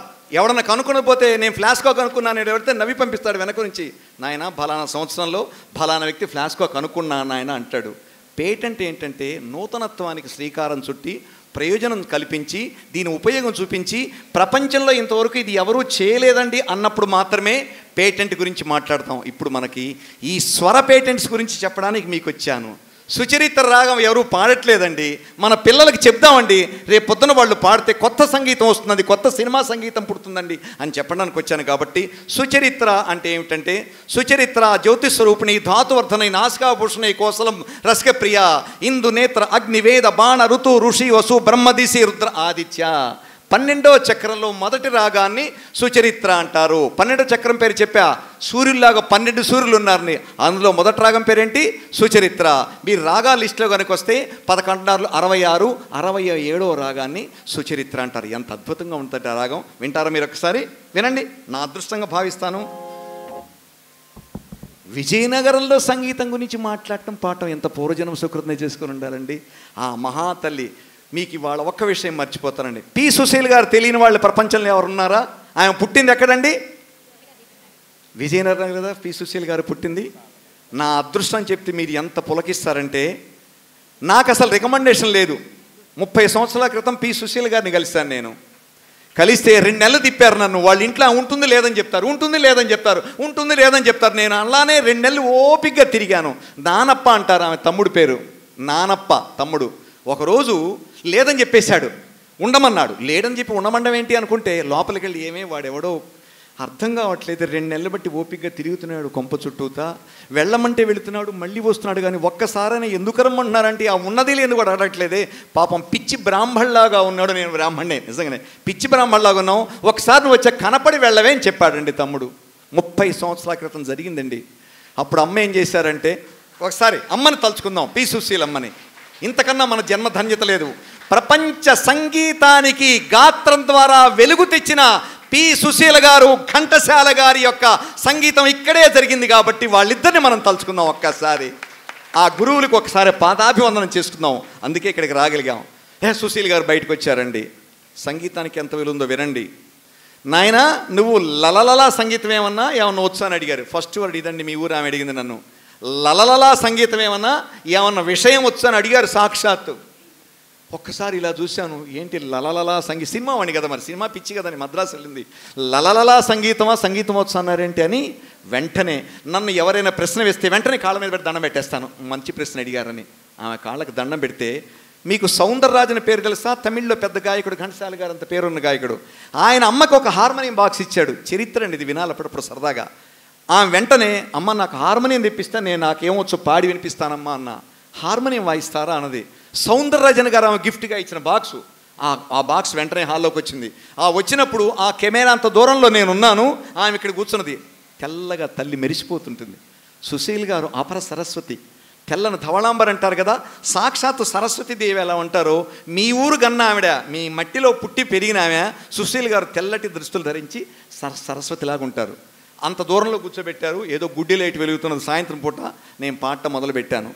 నేను కళ్ళు తెరిచేసరికల్లా సుశీల్ గారు నా పక్కన ఉన్నారు. తమ్ముడు సంధ్య కొడుకు మొత్తం నా చుట్టూనే ఉన్నారండి పాట అయిపోయేసరికల్లా. అది రమణమూర్తి గొప్పతనం కాదు. నా పేరు రమణమూర్తి. సంగీతంలో ఉన్న గొప్పతనం సంగీత సాగర్లో ఉన్న ఆనందం దాంట్లో ఉన్న అనుబంధం సుశీల్ గారికి ఉన్న శాస్త్రీయ సంగీతం మీద అనుబంధం. ఆ ప్రయాణం ఎక్కడి దాకా వెళ్ళిందంటే ఇంకొక గర్వకారణమైన మాట చెప్తున్నాను. నాకు మొట్టమొదట సంగీత దర్శకుడిగా రెమ్యునరేషన్ ఐదు వేల నూట పదహారులు ఇచ్చేసి నా చేత సంగీతం సాహిత్యం చేసుకుని నూట పాతిక పాటలు పాడిన మహాతల్లి పి సుశీల్ గారు. నాకు మొట్టమొదటి రెమ్యునరేషన్ ఇచ్చిన ఐదు వేల నూట పదహారులు ఆ తల్లే ఇచ్చారు. ఆమె చేతి మీదుగా నిర్మాతగా నేను అందుకోవడం ఎంత అదృష్టవంతునని ఆ డబ్బులు దగ్గర పెట్టుకున్నాను. నా భార్య ఇప్పుడు ఇక్కడికే వచ్చి కూర్చుంది నా భార్య. శ్రీలక్ష్మి వాళ్ళ అదృష్టం ఒకసారి లేచి నుంచో. శ్రీలక్ష్మి అండి నా భార్య ఇక్కడ వచ్చినది ఇవాళ. తాను అదృష్టంగా భావిస్తున్నాను. తను అప్పుడు డెలివరీ అవ్వాల? అబ్బాయి పుట్టిన అమ్మాయి పుట్టిన అమ్మ డబ్బులతో బట్ట కావాలని జుబ్బాగా ఉన్నాను. జుబ్బా అంటే ఇట్లా తగిలిచ్చేది కదా అబ్బాయికైనా అమ్మాయికైనా పనికొస్తుంది నా భార్యకి మా అమ్మకి నాన్నకి అన్నయ్యకి వదినికి మామగారికి అత్తయ్య గారికి అందరికీ ఆమె ఇచ్చిన డబ్బులతో బట్టలు కొన్నానండి. ఆ ఐదు వేల నూట పదహారులతోటి. ఆ తల్లి మీ ఊరు రాబోయే ముందు మొన్న మైసూరులో బెంగళూరులో కచేరీలో నేను సుశీల గారు గరికపాటి వారు ముగ్గురు కూర్చొని అత్యద్భుతంగా బెంగళూరులో చేశామండి. ఆ కొడుకులాగా నన్ను చూస్తూ ఈరోజు కూడా ఆమె నన్ను కడుపులో దాచుకొని నన్ను ఎంతో ఆరాధిస్తూ నా యొక్క తొంభై వయసు ఆమె తొంభై ఎనభై ఏడు ఎనభై ఎనిమిది ఉంటాయి. ఈ వయసులో కూడా మొన్న నేను పిలిస్తే బెంగళూరు వచ్చేసి కార్యక్రమాలు పాల్గొన్నారండి. వాళ్ళకొక్కసారి అమ్మకు పాదాభివందనం చేసుకుంటున్నాను వాళ్ళ ఊర్లో వచ్చి. అమ్మ మీ ఊరు వెళుతున్నానమ్మా అని చెప్పాను. ఇంత విలువైన గడ్డ కాబట్టి అప్రతిహతంగా ఇలా మాట్లాడగలుగుతున్నాను. ఇప్పుడు మనం మర్చిపోలేదండో సుచరిత్రలోకి వెళుతున్నాం కదా. వెళ్ళాలి కదా మరి? ఈ సుచరిత్ర రాగంలో ఆవిడిచ్చిన సాహిత్యాన్ని పాడేద్దాం. సుచరిత్ర రాగం ఎలా ఉంటుందంటేనండి ఎంత గొప్ప రాగం ఉంటుంది సరే గమ పామగా గమ పామగా పామగా పామగా పామగా పామగా పామగా దాప గమ గమ దాప గమ గమ నీదాప మా గా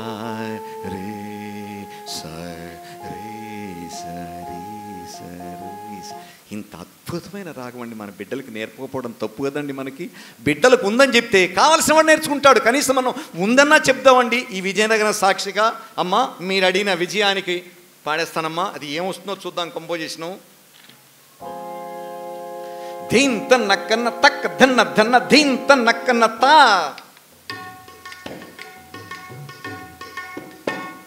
దిద్ది నాకు దిద్ది నాకు దిద్ది నాకు దిన దిన దిన దిన దిన దిన దిన దిన దిన థా dim, tana dim, tana dim, dim, dim, di, di, di, di, di. Dim, ta, ta, ta, ta, ta, dim, ta, ta, ta, ta, ta, dim, ta, dim, ta, dim, dim, ta.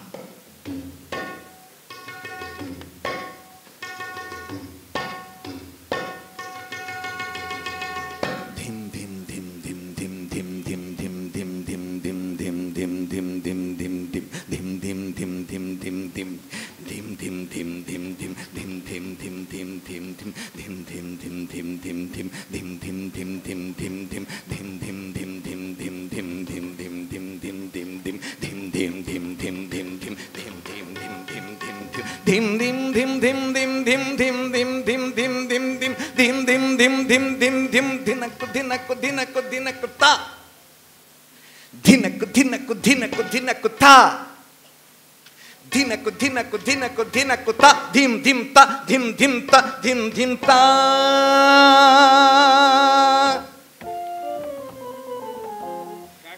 విజయానికి వినపడుతుందయ్యా ఇది ఒకసారి ఎందుకు? చూసుకోండి ఒకసారి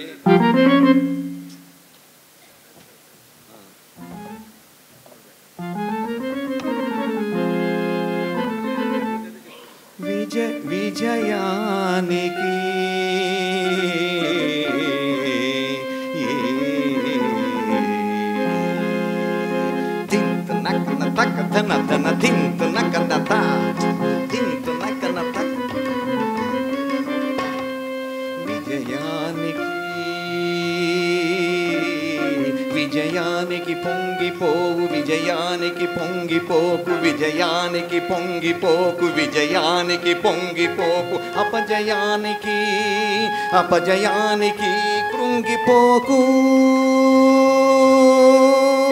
కుంగిపోకు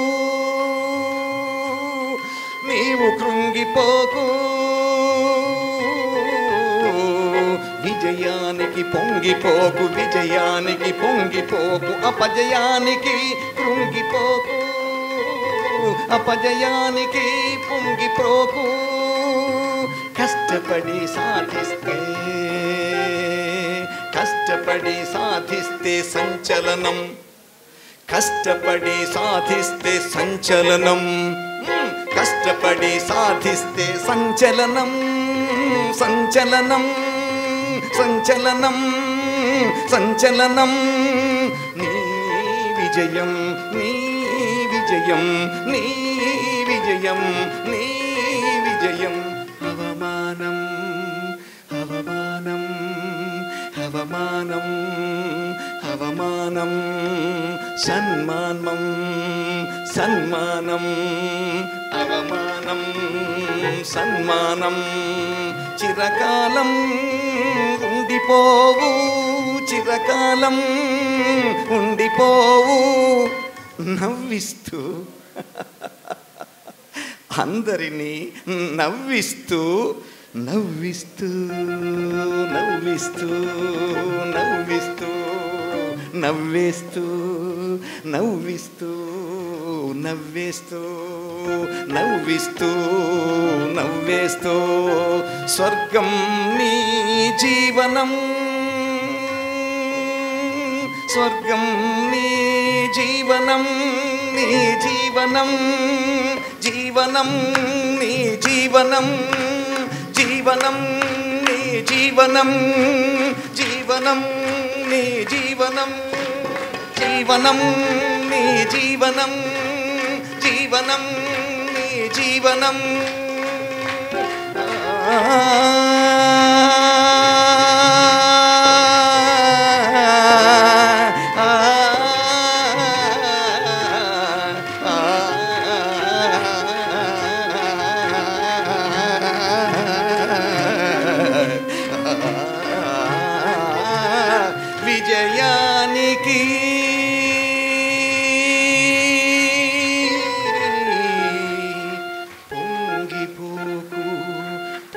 పొంగిపోకు పొంగిపోకు వాణి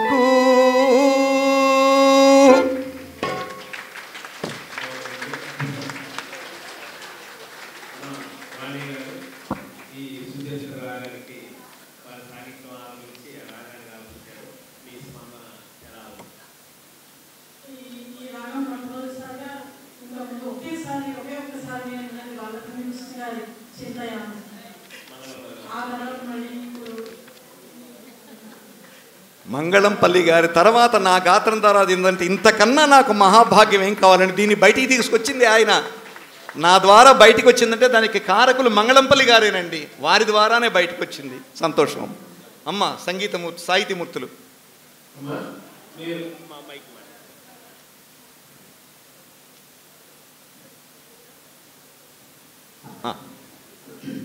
గురించి ఎంత చెప్పినా తక్కువే వాళ్ళు నాకైతే డ్యాన్స్ చేసేయాలనిపించింది ఇప్పుడు టైంలో చేయొచ్చో చేయకూడదు ఆగిపోయాను. ధన్యోస్మి తల్లి మీ ఆశీర్వాద బలం. నేను డ్యాన్స్ చేస్తూనే పాడాను లోపల. మీకు డ్యాన్స్ చేయాలనిపించింది కాబట్టి ఇంతకన్నా కావాల్సింది ఏంటి ఇంకా?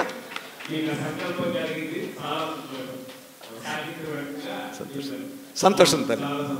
టక్క టక్క టక్క వెళ్ళిపోదామండి. ఇంకా చాలా పని ఉంది మనకి నెక్స్ట్ నాలుగు సాహిత్యం.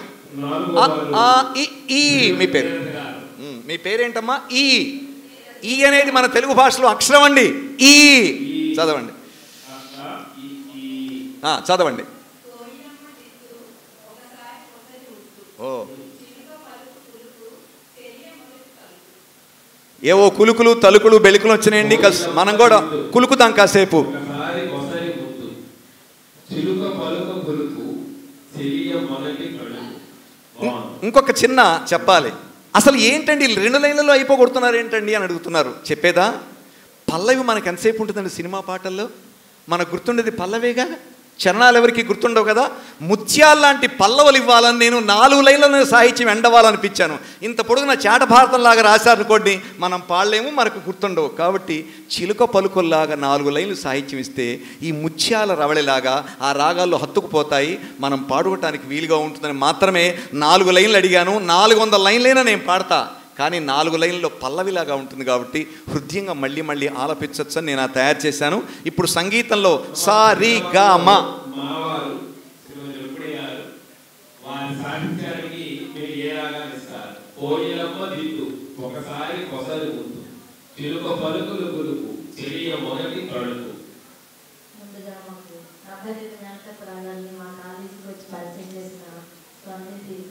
గురువు గారికి నేను గాయక ప్రియ అనే రాగాన్ని నేర్చుకున్నాను బ్రహ్మాండంగా.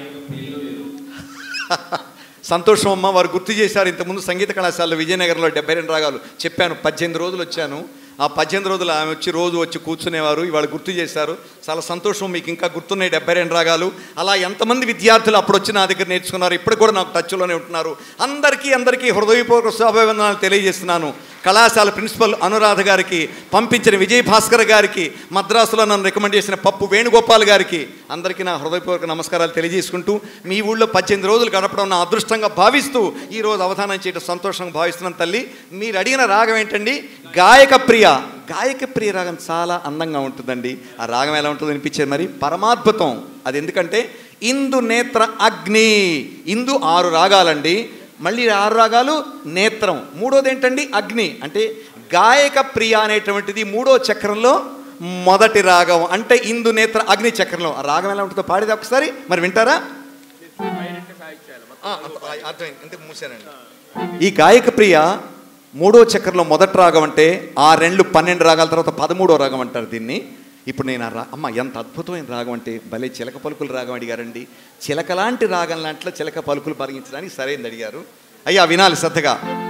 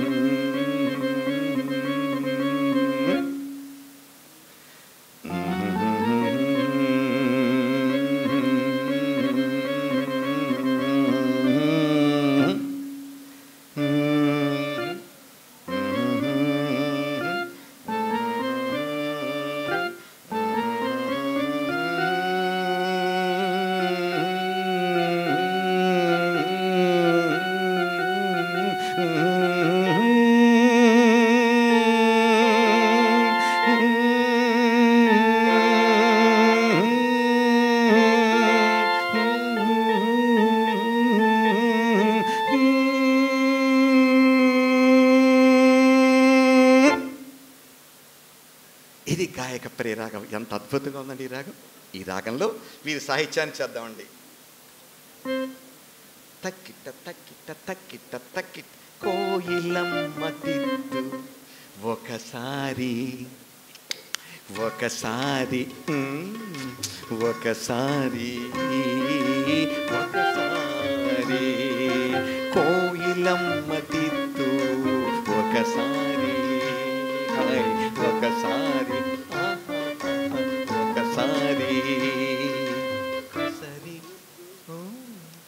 కొసరి మ్మ్, కొసరి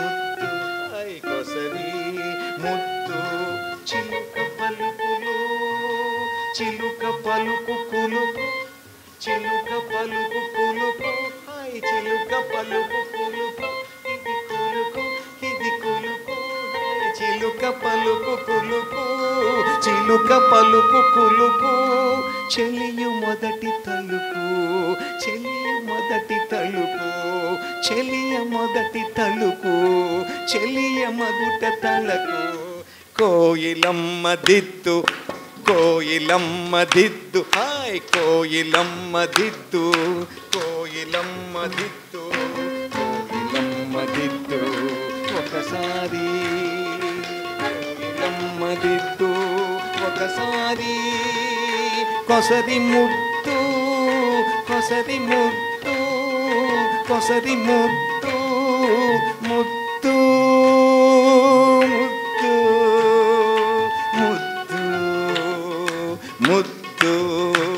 చిలుక ముద్దు చిలుక ముద్దు చిలుక ముద్దు చిలుక ముద్దు చిలుక ముద్దు చిలుక ముద్దు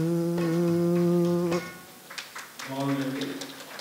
చిలుక పలుకుల్లాగా ముద్దు చాలా ముద్దుగా అన్నారు చాలా ముద్దుగా వచ్చింది ఆ ముద్దు కూడా.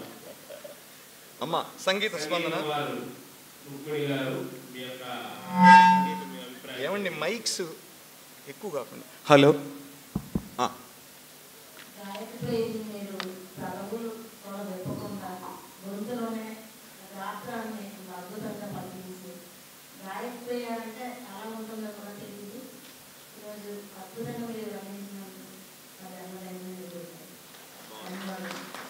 సాహితీ మూర్తులు. నీరజ గారు. ఆ, ఆ, ఈ ఈ. చదవండి అమ్మ మైక్. ఆ, అభిప్రాయం. తమరి అభిప్రాయం తెలియచేయండి. సంతోషం. అండి చాలా సంతోషం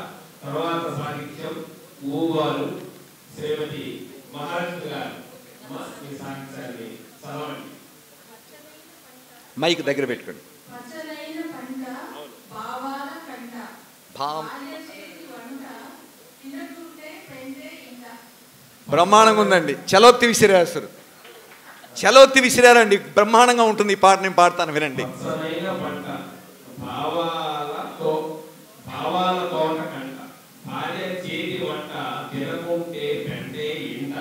అమ్మ. అమ్మ నాయన చలోక్తులు విసిరారండి. ఇప్పుడు కొన్ని చలోక్తులు చెప్పాలి. అమ్మ రాగం అడగండి తర్వాత రాగంలో సరిగమలో భావాలు శ్రీమతి పద్మప్రియ గారు మీరు ఏ రాగా నిర్దేశిస్తారు ఇది? అందరికీ నమస్కారం నా అక్షరం పా నా పేరు పద్మప్రియ కాబట్టి పాటలో వచ్చే పావని రాగంలో పావని రఘుప్రియ ఐదవ రాగం అండి అది. పావని ఐదవ రాగం అంటే ఏంటి? సాలగం జలార్ణవం జాలవరాళి నవనీతం పావని రఘుప్రియ అంటే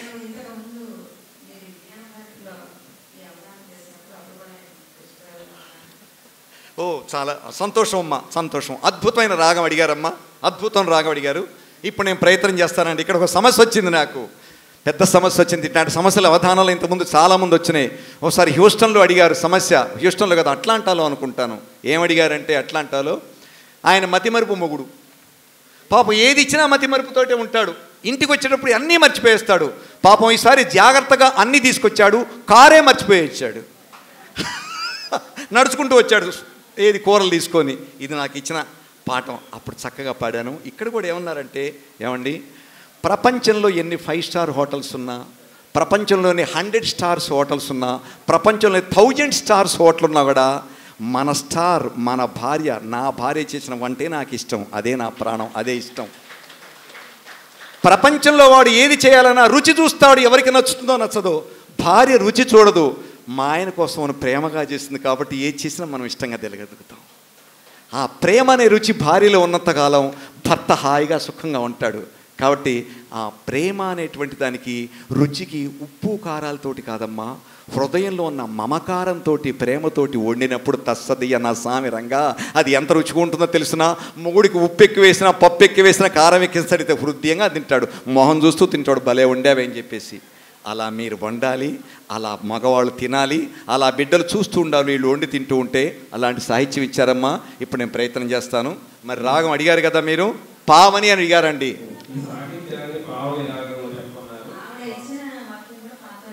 పాతో మొదలైంది.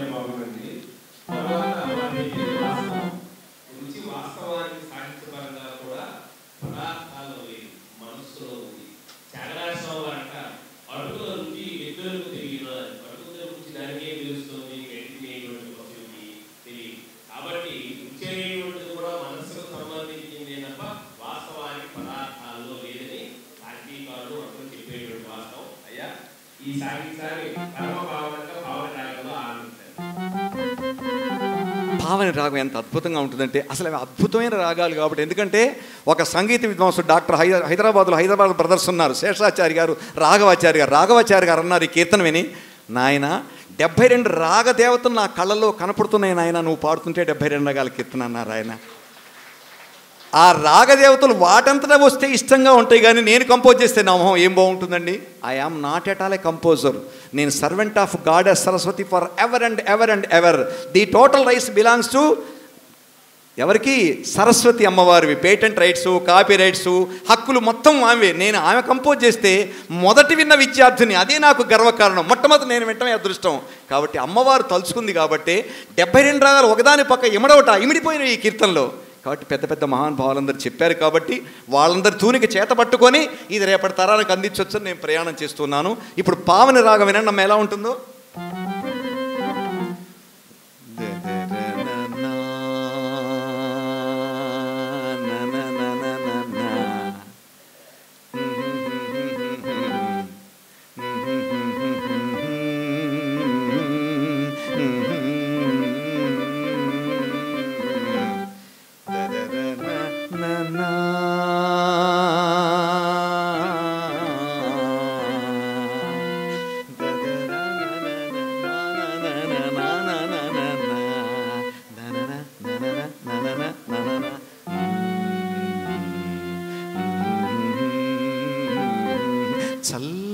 చల్లని పిల్లగాలిలాగా ఉంటుందండి.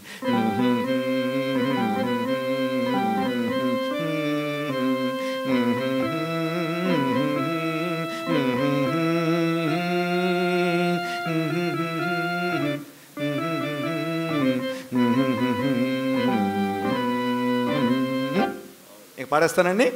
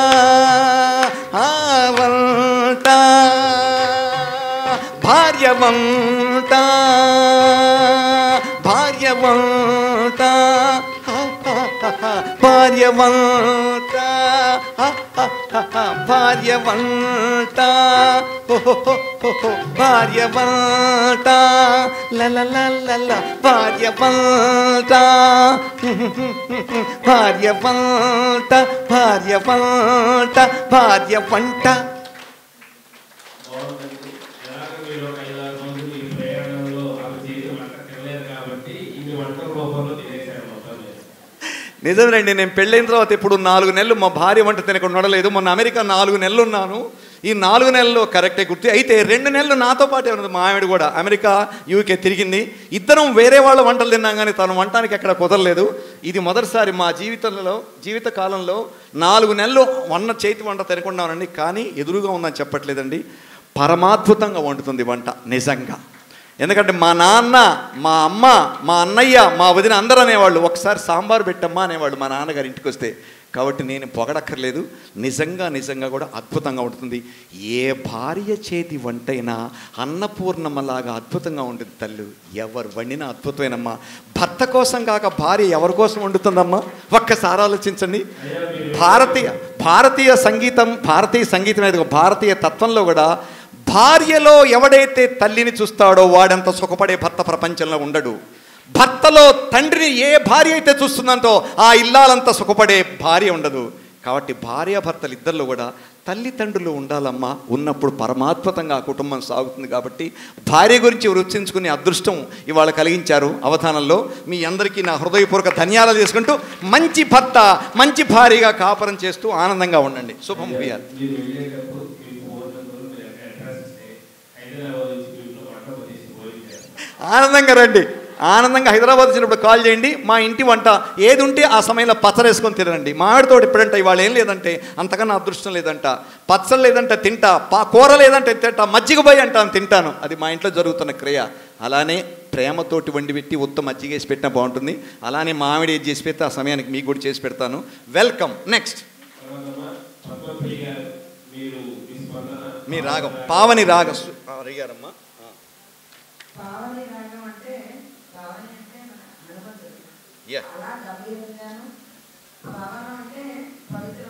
అవును.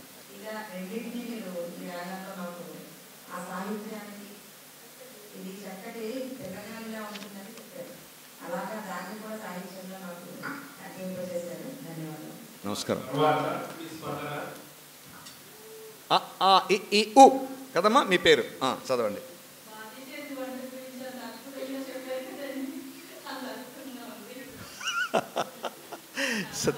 సంతోషం అండి. ఆమె చిరునవ్వులే చెప్తున్నాయి. ఆ వంట ఎలా ఉంటుందనేది. పరమాద్భుతం నెక్స్ట్. ఇప్పుడు ఆరవ రాగం ఆరవ సాహిత్యం.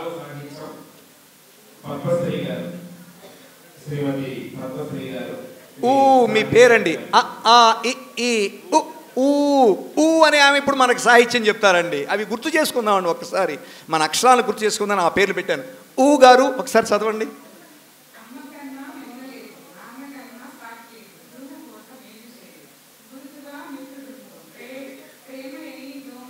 కాగితం అండి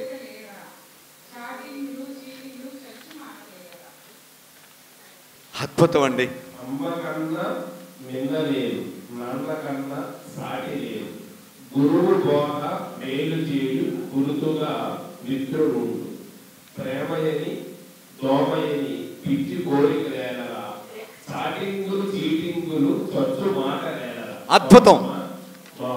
సాహిత్యం అద్భుతం. రాగం అడగండి నేను పాడేస్తాను. బ్రహ్మాండంగా సాహిత్యం. బాగుందమ్మా సాహిత్యం. ఊ గారు తర్వాత సరి గమ ప ద శ్రీమతి ప్రసాద్ శ్రీ పెళ్ళల ప్రసాద్ గారు పిప్పళ్ళ ప్రసాద్ గారు అయ్యా మీరు సంగీతాన్ని ఏ రాగా నిర్దేశిస్తారు ఈ సాగించారు అయ్యా ముందుగా మీ బాలపట్నాలకి ప్రణామాలు తెలియజేస్తున్నా. స్టూడెంట్ తీసుకొచ్చి మా అబ్బాయికి ఒక వారం రోజుల్లో పాట పాడి వచ్చేస్తుందని జాయిన్ చేస్తున్నారు తల్లిదండ్రులు? అటువంటి టైంలో దీని గురించి ఇంత మదనం చేసి మిస్ అయినటువంటి రాగాలను కూడా మీరు ప్రపంచానికి అందించాలనేటటువంటి మీ సంకల్పానికి ఆ భగవంతుడు నూరేళ్ళ జీవితాన్ని కాదు రెండు వందల ఏళ్ళ జీవితాన్ని మీకు ప్రసాదించాలని నేను కోరుకుంటూ థ్యాంక్ యూ సార్ మరి దివ్యమణి రాగంలో ఓ. దీన్ని మీరు ఆలాపన చేయాలని చెప్పి నేను ప్రార్థిస్తున్నాను. అద్భుతం. దివ్యమణి రాగం. ఇందు నేత్ర అగ్నివేద బాణ ఋతు ఋషి వసు ఎనిమిదో చక్రం అనమాట గవాంబోధి రాగంతో మొదలవుతుంది. దివ్యమణి రాగంతో నేను గవాంబోధి అనేటువంటిది ఎంత గొప్పగా ఉంటుందో. దివ్యమణి అంతకన్నా అద్భుతంగా ఉంటుందండి. చాలా గొప్ప మాట అన్నారండి. చాలామంది పిల్లలు ఏమంటారంటే ఒరే నచ్చితే నా నా ఆయుష్ కూసుకో పోసుకొని బతకరా అంటారు. గుర్తుందా మీకు? ముసలమ్మల దగ్గర మనవణ్ణి ఆడిస్తున్నప్పుడు ఒరేయ్ ముద్దొస్తున్నవరా బంగారు కొండ నా ఆయుష్ కూడా పోసుకొని బతకరా బిడ్డలు అంటారు అలానే వారు భగవతత్వంతో ఈ కార్యక్రమం చేస్తున్నందుకు వందేళ్ళు కాదండి రెండేళ్ళు రెండు వందల ఏళ్ళు ఇంకా ఈ కార్యక్రమాన్ని మీరు అందించాలన్నారండి. అది వారిలో హృదయంలో ఉన్న నిశ్చల తత్వం. మంచి పని చేస్తున్నప్పుడు ప్రపంచం ఎప్పుడు మనకు తోడు ఉంటుంది అది గుర్తుంచుకోండి. మనం మంచి పని త్రికరణ శుద్ధిగా చేస్తుంటే ప్రపంచం ఎప్పుడు మన వెంటే ఉంటుంది. కానీ ప్రపంచం మీ వెంట ఉందని మీరు అనుకోవద్దు ఒక్కడిగా ముందుకు దూసుకొని వెళ్ళండి. వెనకాల చుట్టుపక్కల ప్రపంచం ఉంటుంది. ప్రపంచాన్ని మీరు చూసుకోవడం మొదలు పెడితే ఏ పని చేయలేరు. ప్రపంచం మీ వెనక ఉండాలనుకుంటే మీ దారిలో మీరు వెళ్ళండి. ప్రపంచం వెంట మీరు వెళ్ళొద్దు. మీ వెనక ప్రపంచం వస్తుంది. ఈ ఆశయాన్ని వారి వాళ్ళు నాకు కలిగించారండి.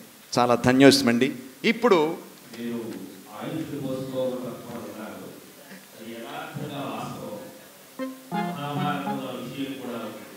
గురుడు ప్రభుత్వాలలో ప్రభుత్వానికి గురుడికి వివాహం నిర్ణయమైన తర్వాత ఆ ప్రభుత్వానికి పాము కాటు వల్ల చనిపోతే దేవదూతలు వెళ్ళి ఆమె చెప్తే చెప్తారు ఈ ఆయుష్ బతకాలని ఎలాగంటే తమ అర్థాంగిలో భార్య వరకు భార్య బతకాలి అంటే త్రికారణ శుద్ధితో రుడు అనేటువంటి ఈ ఉట్టి కుమార్ తన ఆయుష్లో సగం దారపోస్తే బతుకుతుందంటే ఆయన త్రికారణ శుద్ధితో పంచభూతాల సాక్షిగా చెబితే ఆమె లేచి కూర్చుంటుంది ఇది వాస్తవంగా ఉండేటువంటి విషయమే కానీ ఇది ఎక్కడ అసత్యం కాదు మన సాహిత్యం అంతా సత్యమే మన సంగీతం అంతా కూడా సత్యమే అది తెలియజేయడానికి మాట చెప్పాను ఒక్కసారి వేదిక మీద కూడా నిశ్శబ్దంగా ఉండండి. ప్లీజ్ ఎవరు మాట్లాడొద్దండి ప్లీజ్ ఇప్పుడు మీకు వస్తువు ఎవరున్నారని ఇందులో? అమ్మ. ఎవరండి వస్తువు? ఈ పాట మొత్తంలో అమ్మ. అమ్మతోటే నాన్న ఉంటాడు. నాన్న ఎక్కడికి పోతాడు? అమ్మ పక్కనే ఉంటాడు నాన్న. ఈ అమ్మ గురించి ఎప్పుడూ నేను చెప్తున్నప్పుడు కూడా ఇవాళ కమ్మని అమ్మ గురించి నాకు గుర్తు చేసి మీరు గరికపాటి వారిని గుర్తు చేశారు. గరికపాటి నరసింహారావు గారు తెలుసు కదా అందరికీ? వారు ఎక్కడికి వెళ్ళినా అమ్మతోటి ప్రారంభిస్తారు. ఆ తర్వాతనే ఏదైనా సరే వారు చదువుతుంటారు. మొన్న గరికపాటి వారి సభలో అమ్మతోటి వారు ప్రారంభిస్తే వారికి అది ఇవ్వచ్చే అదృష్టం నాకు ఇచ్చింది నన్ను ఇవ్వమన్నారు. వారికి ఆ చివరిలో ఏదో ఇస్తారు కదా బహుమతి ప్రధానం నేనన్నాను అమ్మతో మీరు మొదలుపెట్టారండి అమ్మతో నేను ముగిస్తానండి అని చెప్పేసి అమ్మ మీద నేను రాసుకున్న సాహిత్యాన్ని అక్కడ చదివానండి. ఇంతమంది ఉన్నారండి ఇంతమంది తల్లులు ఇంతమంది తండ్రులు ఇంతమంది గొప్ప బిడ్డలు ఉన్నారండి. మరి చదవనా ఆ నాలుగు లైన్ల సాహిత్యం? చదవమంటారా? చదవనా? రైట్ ఇప్పటి వరకు అవధానంలో నేను చేస్తున్నది సంగీతమే. సాహిత్యాన్ని నాకే సంబంధం లేదండోయ్ ఇచ్చిన సాహిత్యానికి అవధానం చేస్తున్నాను. ఇప్పుడు శ్రద్ధగా వినండి. ఎందుకు చదువుతున్నానంటే మన బిడ్డల మస్తిష్కంలో మెమరీ పవర్ పెరగాలి. బిడ్డలు చదువులో రాణించాలంటే మెమరీ పవర్ పెరగాలి. మెమరీ పవర్ పెరగాలి. ఐక్యూ పెరగాలి. పెరగాలంటే మన ధ్యాస ధ్యానం వైపు కనుక మనం ఉంటే సంగీత ధ్యానం సంగీత అభ్యాసం విజ్ఞానం సాహిత్యం వైపు కనుక మళ్ళించుకుంటే ఆ మెమరీ పవర్ ఎలా పెరుగుతుందో ఇన్ని అక్షరాలను ఎలా గుర్తుంచుకోగలరో రేపటి తరం గుర్తుంచుకోవడం కోసం అమ్మ మీద నేను రాసినటువంటి మాతృగీతం అనే సాహిత్యం చదువుతున్నాను. ఈ చదువుతున్న సాహిత్యాన్ని కూడా డెబ్బై రెండు వేల కర్తరాగల్లో స్వరపరిచాను. అది వేరు. ఇక్కడ సాహిత్యాన్ని చదువుతానండి. అయితే మా ఆవిడ ఎదురుగా ముందు ఎప్పుడు ఈ మాట అంటాను మా ఆవిడ ఎదురుగా కూర్చొని నాలుగు గంటల్లో ఈ సాహిత్యం రాశాను అర్ధరాత్రి పూట అమ్మ గురించి. ఎట్లా రాయగలిగానంటే మా ఆవిడలో కూడా అమ్మని నేను చూస్తాను కాబట్టి మా ఆవిడ ఎదురుగా ఉన్నా కూడా మా అమ్మ గురించి రాయగలిగాను. ఎప్పుడు భార్యలో ఆ తల్లిని చూడగలగాలండి. భర్తలో ఆకలిని తల్లిగా ఉన్నప్పుడే భార్య చూడగలదు. తల్లిలాగా ఉండాలి భర్తకి అప్పుడు చూడగలదు. వాడి కష్ట సుఖాలు. ఏదైనా అనాలనుకున్నప్పుడు అలా తల్లిగా గుర్తొచ్చింది అంటే అనదు నోరు మూసుకొని కూర్చుంటుంది. అమ్మ ఎందుకంటే పోన్లేరా పోన్లే అంటుంది. అలానే అంటుంది. ఆ తల్లి పాత్ర గుర్తు ఒకసారి ఝూంకరిస్తుంది ఖచ్చితంగా. అందుకని అమ్మ అందరూ శ్రద్ధగా వినండి అమ్మ. ఇది ఒక అదృష్టంగా భావిద్దాం. మాతృగీతం దీని పేరు వినండి అమ్మ. దయచేసి ఎవరు మాట్లాడద్దు సెల్ ఎవరు ముట్టుకోవద్దు. మీ ధ్యాస ధ్యానం ఇక్కడ పెట్టండి. అసలు ఈ కార్యక్రమం పెట్టిందే ధ్యానం. పత్రివారు మా భరణి గారింటికి వచ్చేసి గంట సేపు వారి ఫ్లూట్ నినాదం నేను విన్నాను. మా దగ్గరికి వచ్చి వారు ప్లే చేశారు భరణి గారితో ఆ అదృష్టం ఇవాళ నన్ను ఇక్కడికి తీసుకొచ్చిందిగా భావిస్తున్నాను. ఆయన నిరామయుడు నిష్కల్మష హృదయుడు. ఆయనకు ఆ ఫ్లూటే ప్రపంచం. ధ్యాసలోనే ధ్యానం ధ్యానం అని ఆయన వెళ్ళిపోతుంటాడు. అలాంటి మహానుభావుడి దగ్గర కూర్చొని అమ్మ గురించి గుర్తు చేశారమ్మా. వినండి ఇది సత్సమయం. సత్సాంప్రదాయబద్ధమైన మన తెలుగు భాష ఎలా ఉంటుందో రేపటి పిల్లలు నేర్చుకోవాలి. ఇంగ్లీష్ వరవళ్ళప్పుడు తెలుగును కూడా మర్చిపోతున్నారమ్మా. తప్పు తప్పు తప్పు. ఇప్పుడు నేను మాతృగీతం చదువుతున్నాను. మరి చదవమంటారా? చదువుతున్నాను. కన్న తల్లి నేల తల్లి భాష తల్లి. కన్న తల్లులందరూ ఇక్కడ ఉన్నారు నేల తల్లి ఇక్కడుంది భాష తల్లి మనం చేసే అవధాన ప్రక్రియ ఉంది. ఈ ముగ్గురు తల్లుల రుణం ఎవడూ తీర్చుకోలేడు శ్రద్ధగా వినండి. ఎవరూ తీర్చుకోలేరు. ఈ ముగ్గురు తల్లులు కలిసి త్రిమాత్ర రూపంగా జన్మించారట. ముగ్గురు కలిపి ఒకటిగా పుట్టేశారు. పుట్టించేసి ఎరా వేణాపాణి మా రుణం తీర్చుకోగలవా? అని అడిగారు. నన్ను అడిగారు ప్రశ్న. తల్లి ఒక్కళ్ళ రుణమే విడిగా తీర్చుకోలేనమ్మా ముగ్గురు ఒక రూపం ఎత్తిన ఎదురుగా నుంచొని మా రుణం తీర్చుకోగలవంటే భూమి మీద పుట్టిన ఏ ప్రాణి కూడా ఆ రుణం తీర్చుకోలేదమ్మా అని ఆసువుగా కాళిదాసు అమ్మవారిని చూస్తూ ఎలా అయితే పాడారో అలా నేను రాసుకున్నాను మీకు అలా చదువుతాను. చిట్ట చివరి దాకా శ్రద్ధగా వినండి. మీరు గుర్తు చేశారమ్మా ఇవాళ ఈ పాటని అందాం అనుకోలేదు గుర్తు చేశారు. ఇక ఆగను చదివేస్తాను. అమ్మ అందరూ వినండి. పుట్టిన నేల తల్లి పాలిచ్చిన ముద్దుల తల్లి మాట మాగాణులనిచ్చిన తెలుగు తల్లి ఈ ముగ్గురి తీరు తెలుపగా పుట్టిన గడ్డకు ఎదురు నిలిచి సరితూగిడి స్వర్గము లేనిలేదు ఆ మట్టికి మారుగా మనసు దోచడి యంత్రము సృష్టి ఎందు భూతద్దము వేసి చూచినను. ఎచ్చట కానరాదు స్పృశించిన చాలు. మట్టి నీకిచ్చడి మధురమైన అనుభూతుల పొరల తెరలు తొలగించుచు చూడు బాల్యమున. ముద్దుగా బొద్దుగా వచ్చి రాని వయ్యారపు నడకల పరుగు పరుగుతో బోసిగా నవ్వు నింపుతూ బోలెడు మట్టి పెట్టెలను పప్పు చెక్కలుగా గోడల మొత్తన దాగి దాగి పలహారముగా తిని ఉరుకు పెట్టి ఆ మట్టిలో దొర్లి దొర్లి ఆట ఆడగా అలుపురాగా ఆ గోడకు జారి నిద్రలో జోగిన వేళ జన్మకిక రాధిక రాదు రాదు ఆ తీయటి కమ్మటి గుర్తులు పురిటిగడ్డపై మట్టికి వాసనుండుట మహత్తరమైన సత్యమే. దానిని నీకు తేల్చినది నీ మదిలో మమకార బంధమే. ప్రాణములున్న వరకు నీ ఊరను పేరును కలవరించు. ఆ భాగ్యమే చాలు చాలు నీ మనసున నిండుగా పదిలపరచుటయే పదివేలు. కోటిని జన్మలు కోరడి పుణ్యభూమిలో పుట్టిన ధన్యజీవివై మేలుకు మేలు చేశాడు సమున్నత భావశీలివై కీడుకు కూడా మేలు అనరించడి ధార్మిక బుద్ధిశాలివై ఊరిని ఊరకనే తలవక ఉపకారము చేయ ధ్యాసలో గర్వము వద్దు. నీకు ఆ మట్టిని ముద్దిడి భాగ్యమి చాలు జన్మలే చాలవు తీరని రుణముల తీపి గుర్తులవు. వింతల వింతగా పలు జన్మలు సాధ్యమే ఒక్క జన్మలో. బిడ్డకు జన్మనిచ్చు ప్రతి కానుపు తల్లికి పునర్జన్మయే. అర్థము కాని ఈ క్రియకు ఆది అంతము అమ్మ ఒక్కతే. సృష్టికి మూలమైన ఆ దేవుని చేతుల బొమ్మ అమ్మ ప్రతి సృష్టిని చేయగలట్టి సాధనాశక్తికి మారు రూపు నీ తల్లికి సాటి లేరు లేరెక్కడ వేరెవరైనా చూపగా.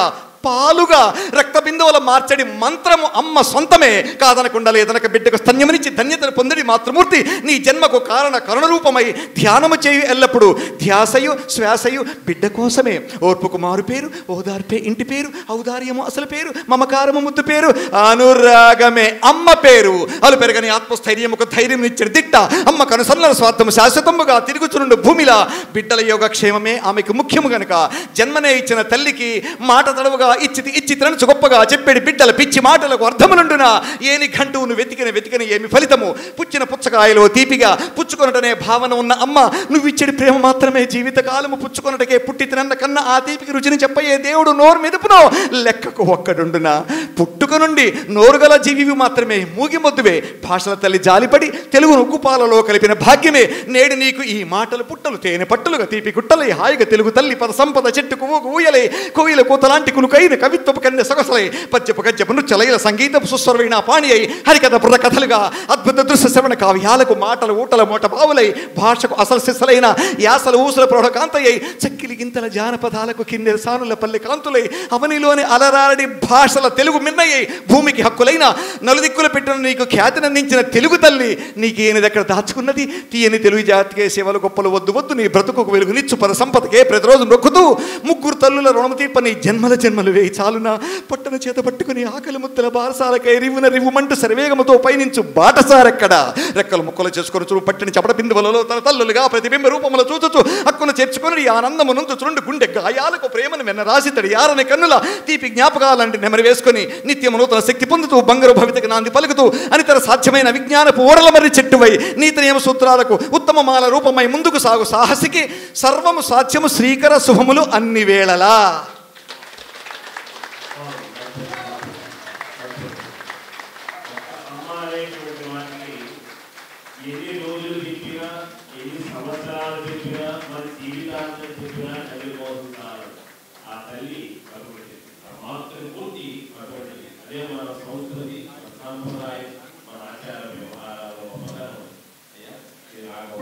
ఇప్పుడు ఈ రాగంలో పాడాలండి. దివ్యమణి రాగం అండి. ఆ రాగం ఎలా ఉందో వినిపిస్తానండి. ఏ సాహిత్యం గోల అయిపోయిందండి. అది ఏదో రాశాను అయిపోయింది. సినిమా పాటలు కూడా రాస్తూ ఉంటాను. ఒక పాట రాస్తే చిత్ర గారు పాడారు. South Indian best singer award వచ్చింది చిత్ర గారికి నేను రాసిన పాటకి. రెహమాన్ గారి చేతుల మీదుగా బాలు గారు అందుకున్నారు చిత్ర గారి బదులు. అంతకన్నా అదృష్టం ఏం కావాలి? మిథునం సినిమాకి సంగీతం చేశాను. దేవస్థానం కె. విశ్వనాథ్ గారి సంగీతం సాహిత్యం రెండూ చేశాను. అది నా పూర్వజనం సుకృతంగా భావిస్తూ ఏదో ఉప్పెంగిన సాహిత్యం పాడేశాను. ఇప్పుడు మళ్ళీ నా వృత్తి సంగీతం కదా అవధానం చేయాలి కదా? దివ్యమణి అడిగారు కదండి? ముందు దివ్యమణి రాగం ఎలా ఉంటుందో చూసుకొని పాడేద్దాం. ఇది షారా మామూలే మళ్ళీ. దివ్యమణి.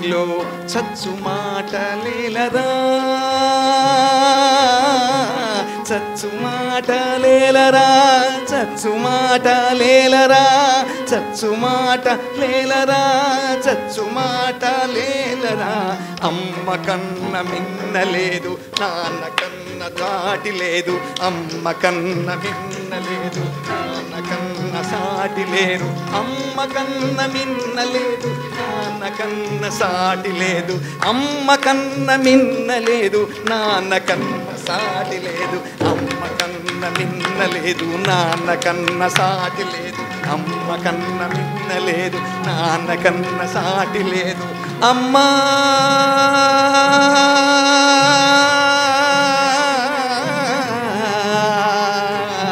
అమ్మా!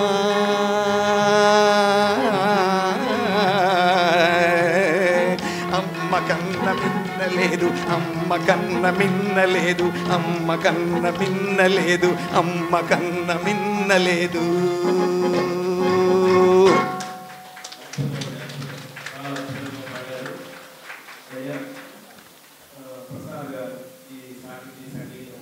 మంచి రాగం అడిగారండి. మంచి రాగం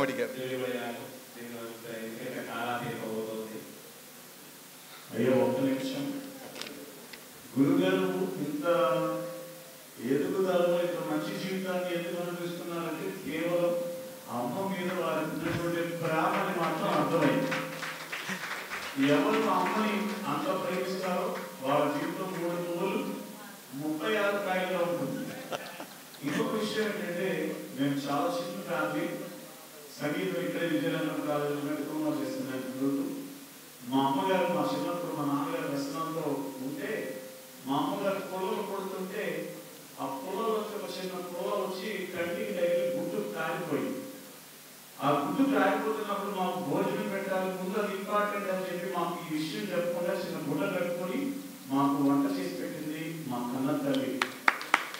నాకు అమ్మ అంటే అంత ప్రేమ అందుకే నేను ఈరోజు ఈరోజు ఇంత హైయెస్ట్ ఎవరెస్ట్ పర్వతంలో ఉన్నారంటే దానికి కారణం సంగీతం ఒక అయితే మీ అమ్మగారు మీరు మీరు రాసినటువంటి ఆ రచని మిమ్మల్ని ఇంత హైయెస్ట్లో వచ్చింది.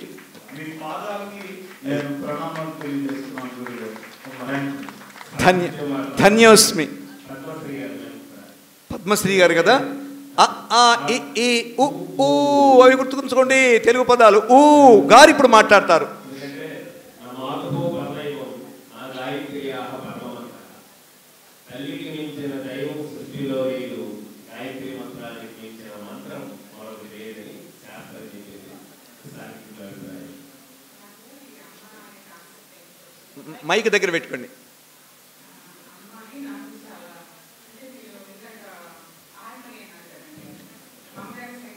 మైక్ కొంచెం పై ఆ,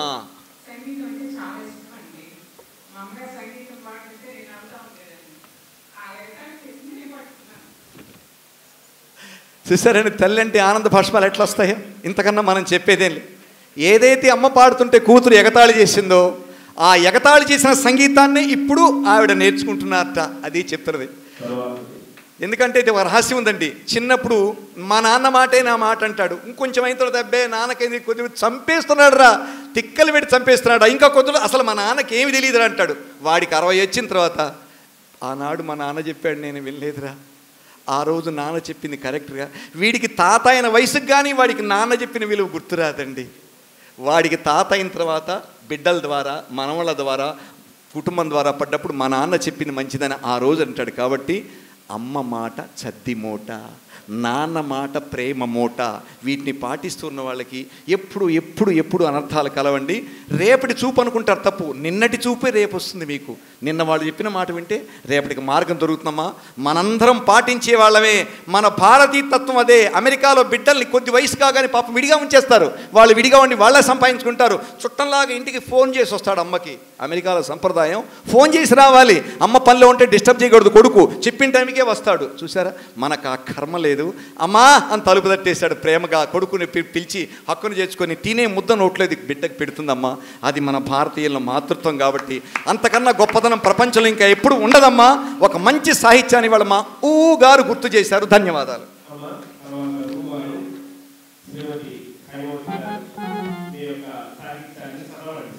రు. రు కదండి. ఆ ఈ ఊ రు. ఆ. ఇ ఈ ఉ ఊ రు. అలానే సా రి గా మా పా దా ని. ఇంతకన్నా మన దాని జన్మ నుంచి ఏం కావాలండి. చదవండి అమ్మా సాహిత్యం చదవండి కనులలో ప్రేమ చూపగా సాయమే సేవ కొరకెగా కొరకెగా ప్రపంచం దైవ సృష్టిగా ప్రశాంతం నీవే ముందుమా మనసులో మంచి నుంచగా మనిషిగా గాలి చూపగా వసుదైక కుటుంబమవును వాటిక భూమండలము బాగుంది. పనులలో ప్రేమ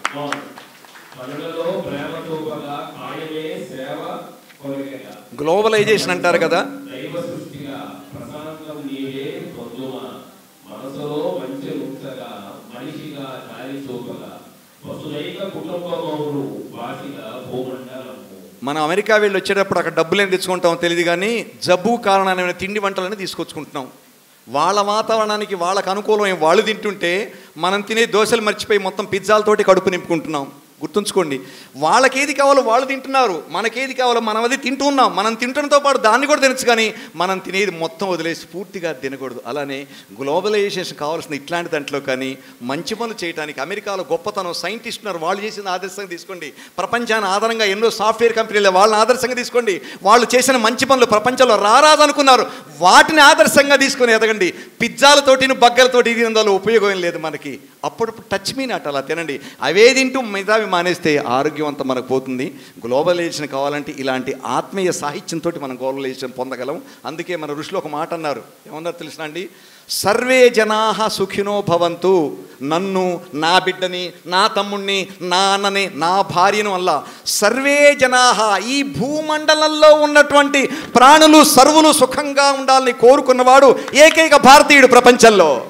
అది మన గొప్పతనం. అందరూ బాగుండాలి అందులో నేనుండాలి అనుకున్న తత్వంలోనే వసుదైక కుటుంబం ఉంది తల్లి. అలాంటి సాహిత్యం వాళ్ళు ఇచ్చావు. రాగం అడగండి.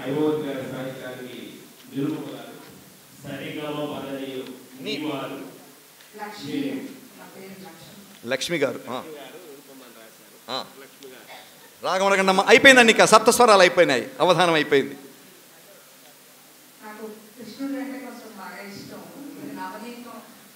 నాకు నవనీతం. మంచి రాగం అడిగారండి. అంటే ఆ నవనీత రాగం ఒకసారి అమెరికాలో గబ్బిళం మీద సాహిత్యం రాస్తే అడిగారండి నన్ను. సాహిత్యమేమో గబ్బిళం మీద రాశారు. ఆ గబ్బిళం సాహిత్యాన్ని నవనీత రాగంలో పాడమని అడిగితే పాడిన తర్వాత వాళ్ళు అన్నారు సార్ ఏంటి సార్ నవనీత రాగం పేరు అలా ఉంది కదా? మీరు ఆ నవనీత రాగంలో ఈ గబ్బిళం ఎలా పాడా గబ్బిళం కాదు. గో సీతాకోక చిలక ముందేంటమ్మది గొంగళిపూర్ గురించి అడిగారు. సారీ అప్పుడు నేను అన్నాను మీరు గొంగళి పురుగు గురించి అడిగారు నాకు సీతాకోక చిలుకు కనపడదు అని చెప్పాను నేను సాహిత్యంలో. అంటే ఒక రాగం అడిగినా కూడా మనకి అంటే ఇది ఏంటంటే ప్రథమ రాగాలు ద్వితీయ రాగాలు అంటారు. అంటే మొట్టమొదటి ముప్పై ఆరు రాగాలు అయిపోయిన తర్వాత సాలగం జలార్ణవం జాలవరాళి నవనీతం పావని రఘుప్రియ.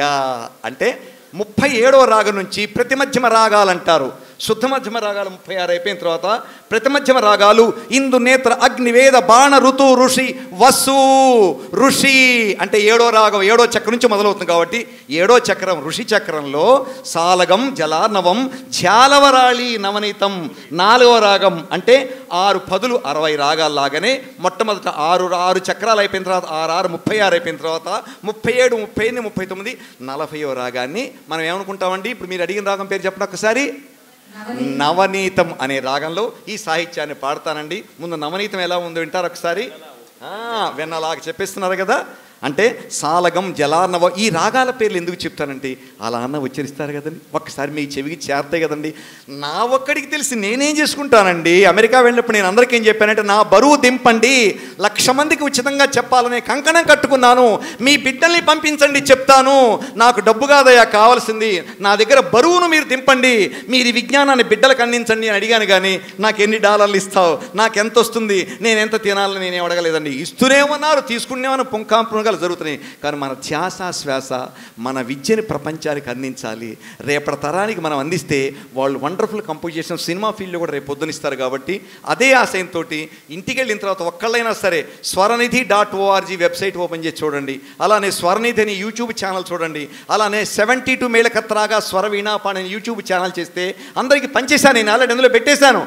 చూసి మీ పిల్లల్ని నేర్చుకోండి. ఇప్పుడు మనం నవనీతం జోలికి వెళ్తామమ్మా. సాలగం జలార్ణవం చాలవరాళి నవనీతం. నాలుగవ రాగం ఇది. నవనీతం చాలా బాగుంటుంది మా రాగం.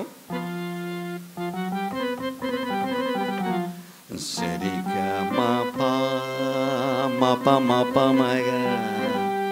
గమ పద మపద మపద నీద నీద ప. మపద నీ సా నీద ప మా. మపద నిద ప మపద నిద ప మపద నిద నిద నిద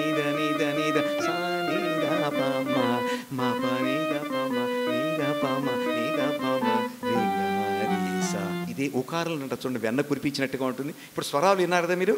దీన్నే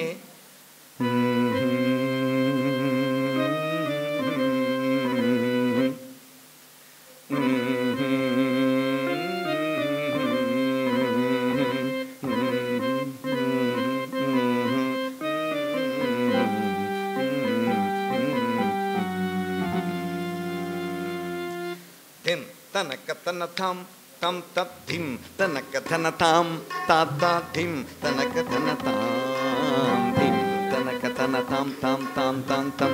కనులలో ప్రేమ కనులలో ప్రేమ కనులలో ప్రేమ కనులలో ప్రేమ చూపగా కాయమే సేవ కొరకేగా.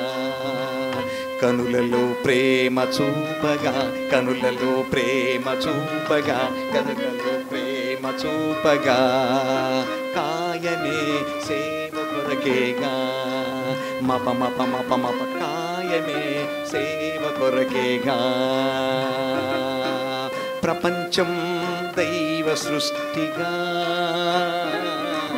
ప్రపంచం దైవ సృష్టిగా. ప్రశాంతం ప్రశాంతం ప్రశాంతం ప్రశాంతం నీవే పొందుమా, నీవే పొందుమా నీవే పొందుమా ప్రశాంతం ప్రశాంతం నీవే పొందుమా మనసులో మంచి చూడగా మనసులో మంచి నుంచగా మనిషిగా జాలి చూపగా. మనిషిగా జాలి చూపగా. వసుధైక కుటుంబమౌను వసుధైక కుటుంబమౌను వసుధైక కుటుంబమౌను వసుధైక కుటుంబమౌను వాసిగా భూమండలము వాసిగా భూమండలము. వాసిగా భూమండలము. వాసిగా భూమండలము. వాసిగా భూమండలము. వాసిగా భూమండలం భూమండలం భూమండలము. భూమండలము భూమండలము భూమండలము భూమండలము భూమండలము భూమండలం భూమండలం భూమండలము. ధీంతన ధీంతన ధీంతన ధీంతన ధీంతన ధీంతన ధీంతన ధీంతన.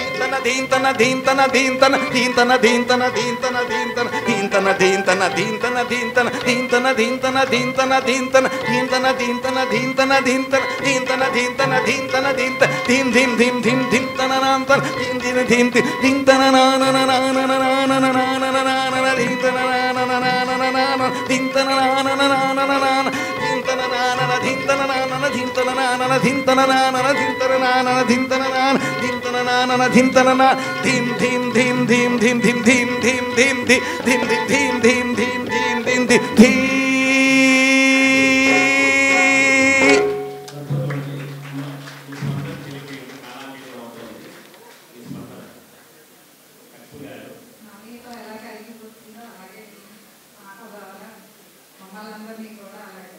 ధన్యోస్మి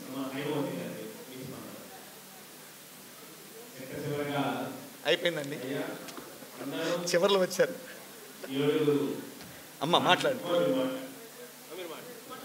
మాట్లాడమ్మా మీ స్పందన మాట్లాడే తల్లి మైకా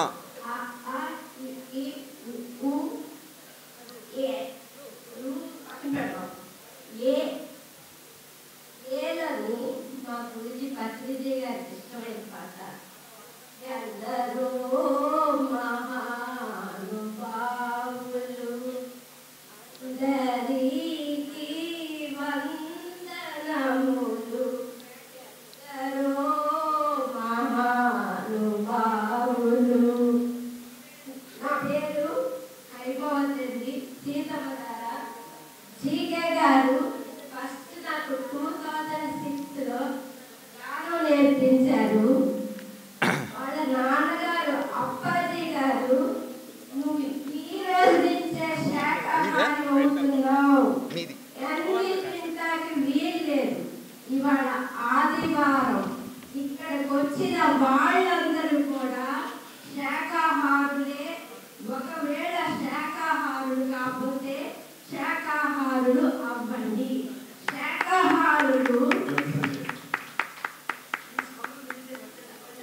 ఏ- ఈ-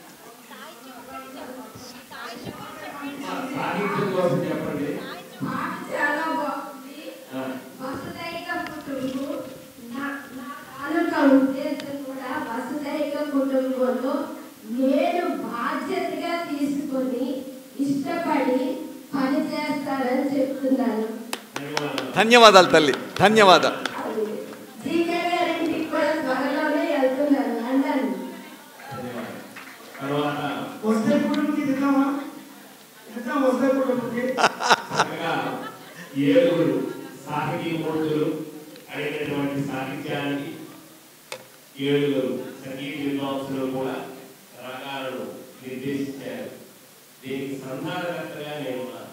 మరి నా పరిస్థితి స్వామి అసలే ఈ ఉత్సవాలన్నీ కూడా మీ పరిస్థితి నాకు నా చేత నీళ్ళు తాగిస్తారు అది మీ పరిస్థితి తాగుతున్నాను. ఏ కానివ్వండి ఇది విజయనగర ఉత్సవాలు గరిపతుల యొక్క ఇంటి ఆడపిల్ల మా బయట అమ్మవారు మరి ఆ తల్లిని చెప్పడం స్మరించుకోకుండా ఎట్లా చెప్పండి ఆ సందర్భంలో నేను ఆమె సాహిత్యం రాశాను నా సాహిత్యానికి నేనే రాగం కూడా నిర్దేశిస్తాను మీరు ఆ రాగంలో ఈ సాహిత్యాన్ని ఆలోచించారు ఏమండి తల్లిని ప్రశ్నించే హక్కు లేదు కదా మనకి?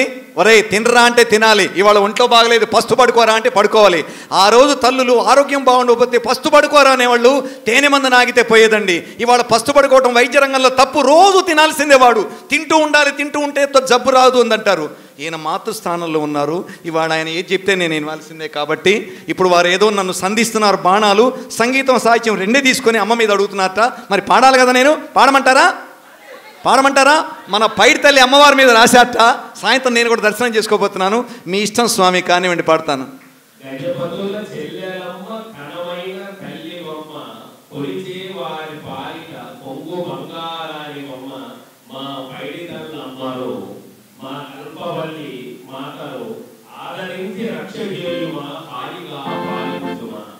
ఇది సాహిత్యం.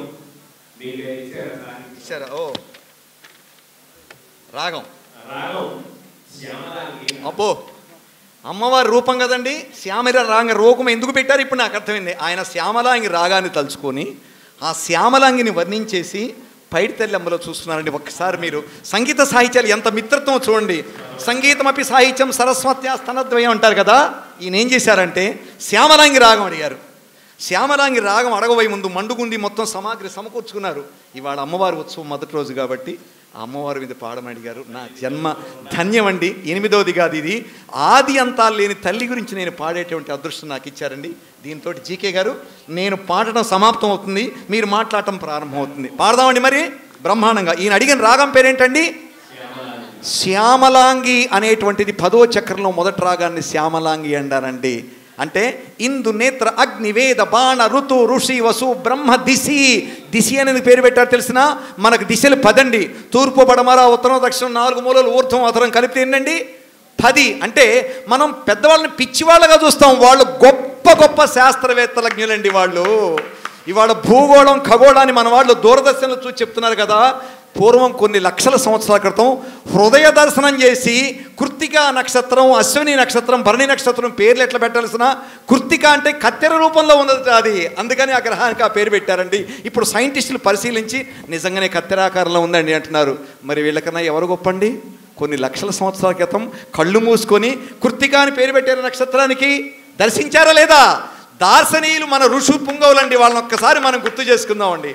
వాళ్ళ మాట శిలాశాసనం అండి. అదే ఇప్పుడు మనం ఆచరిస్తున్నాం కొత్తగా మనం ఆచరించేది ఏం లేదు.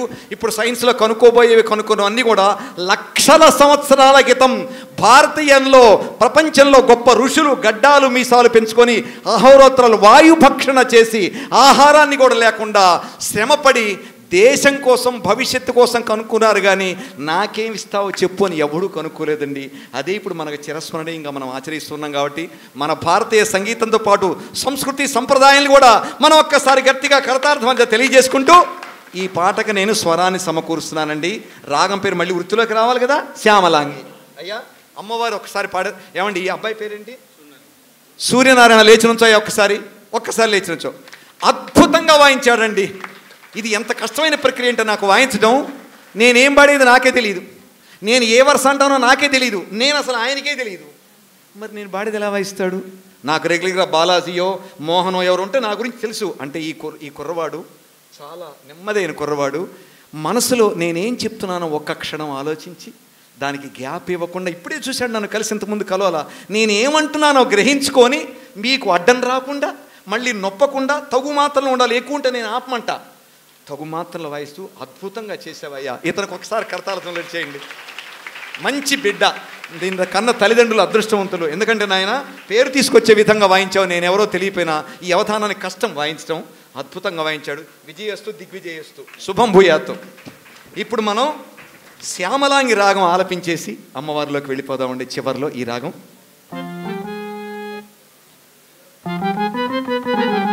చాలా గొప్ప రాగం అండి. శ్యామలాంగి ఎంత బాగుంటుందంటే శ్యామలాంగి.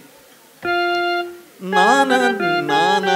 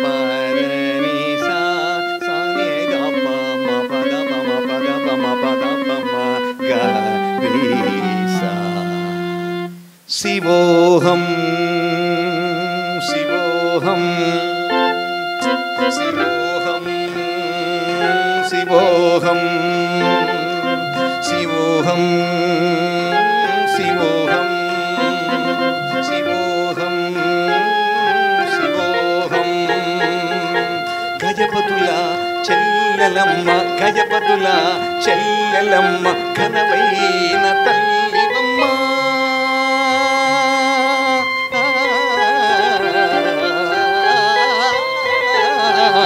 గజపతుల తల్లెలమ్మ గజపతుల చెల్లెలమ్మ ఘనమైన తల్లివమ్మ.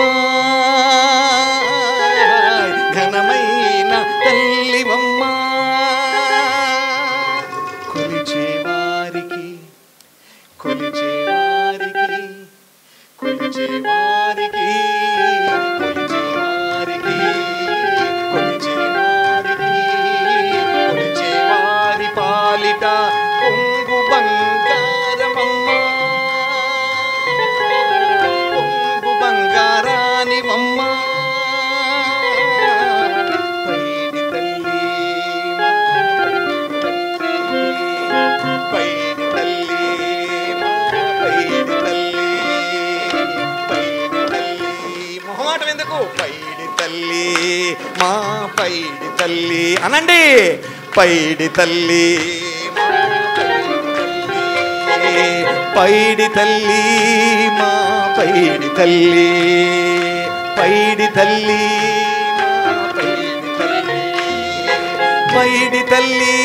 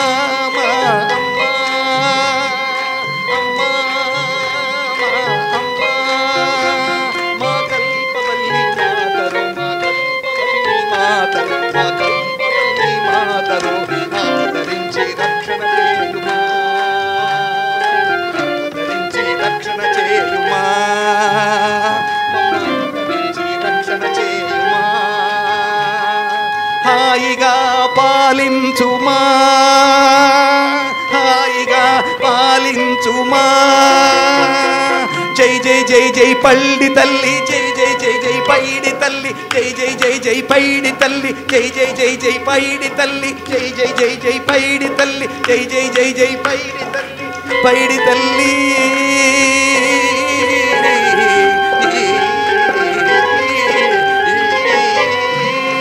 జై జై జై జై పైడి తల్లి జై జై జై జై పైడి తల్లి జై జై జై పైడి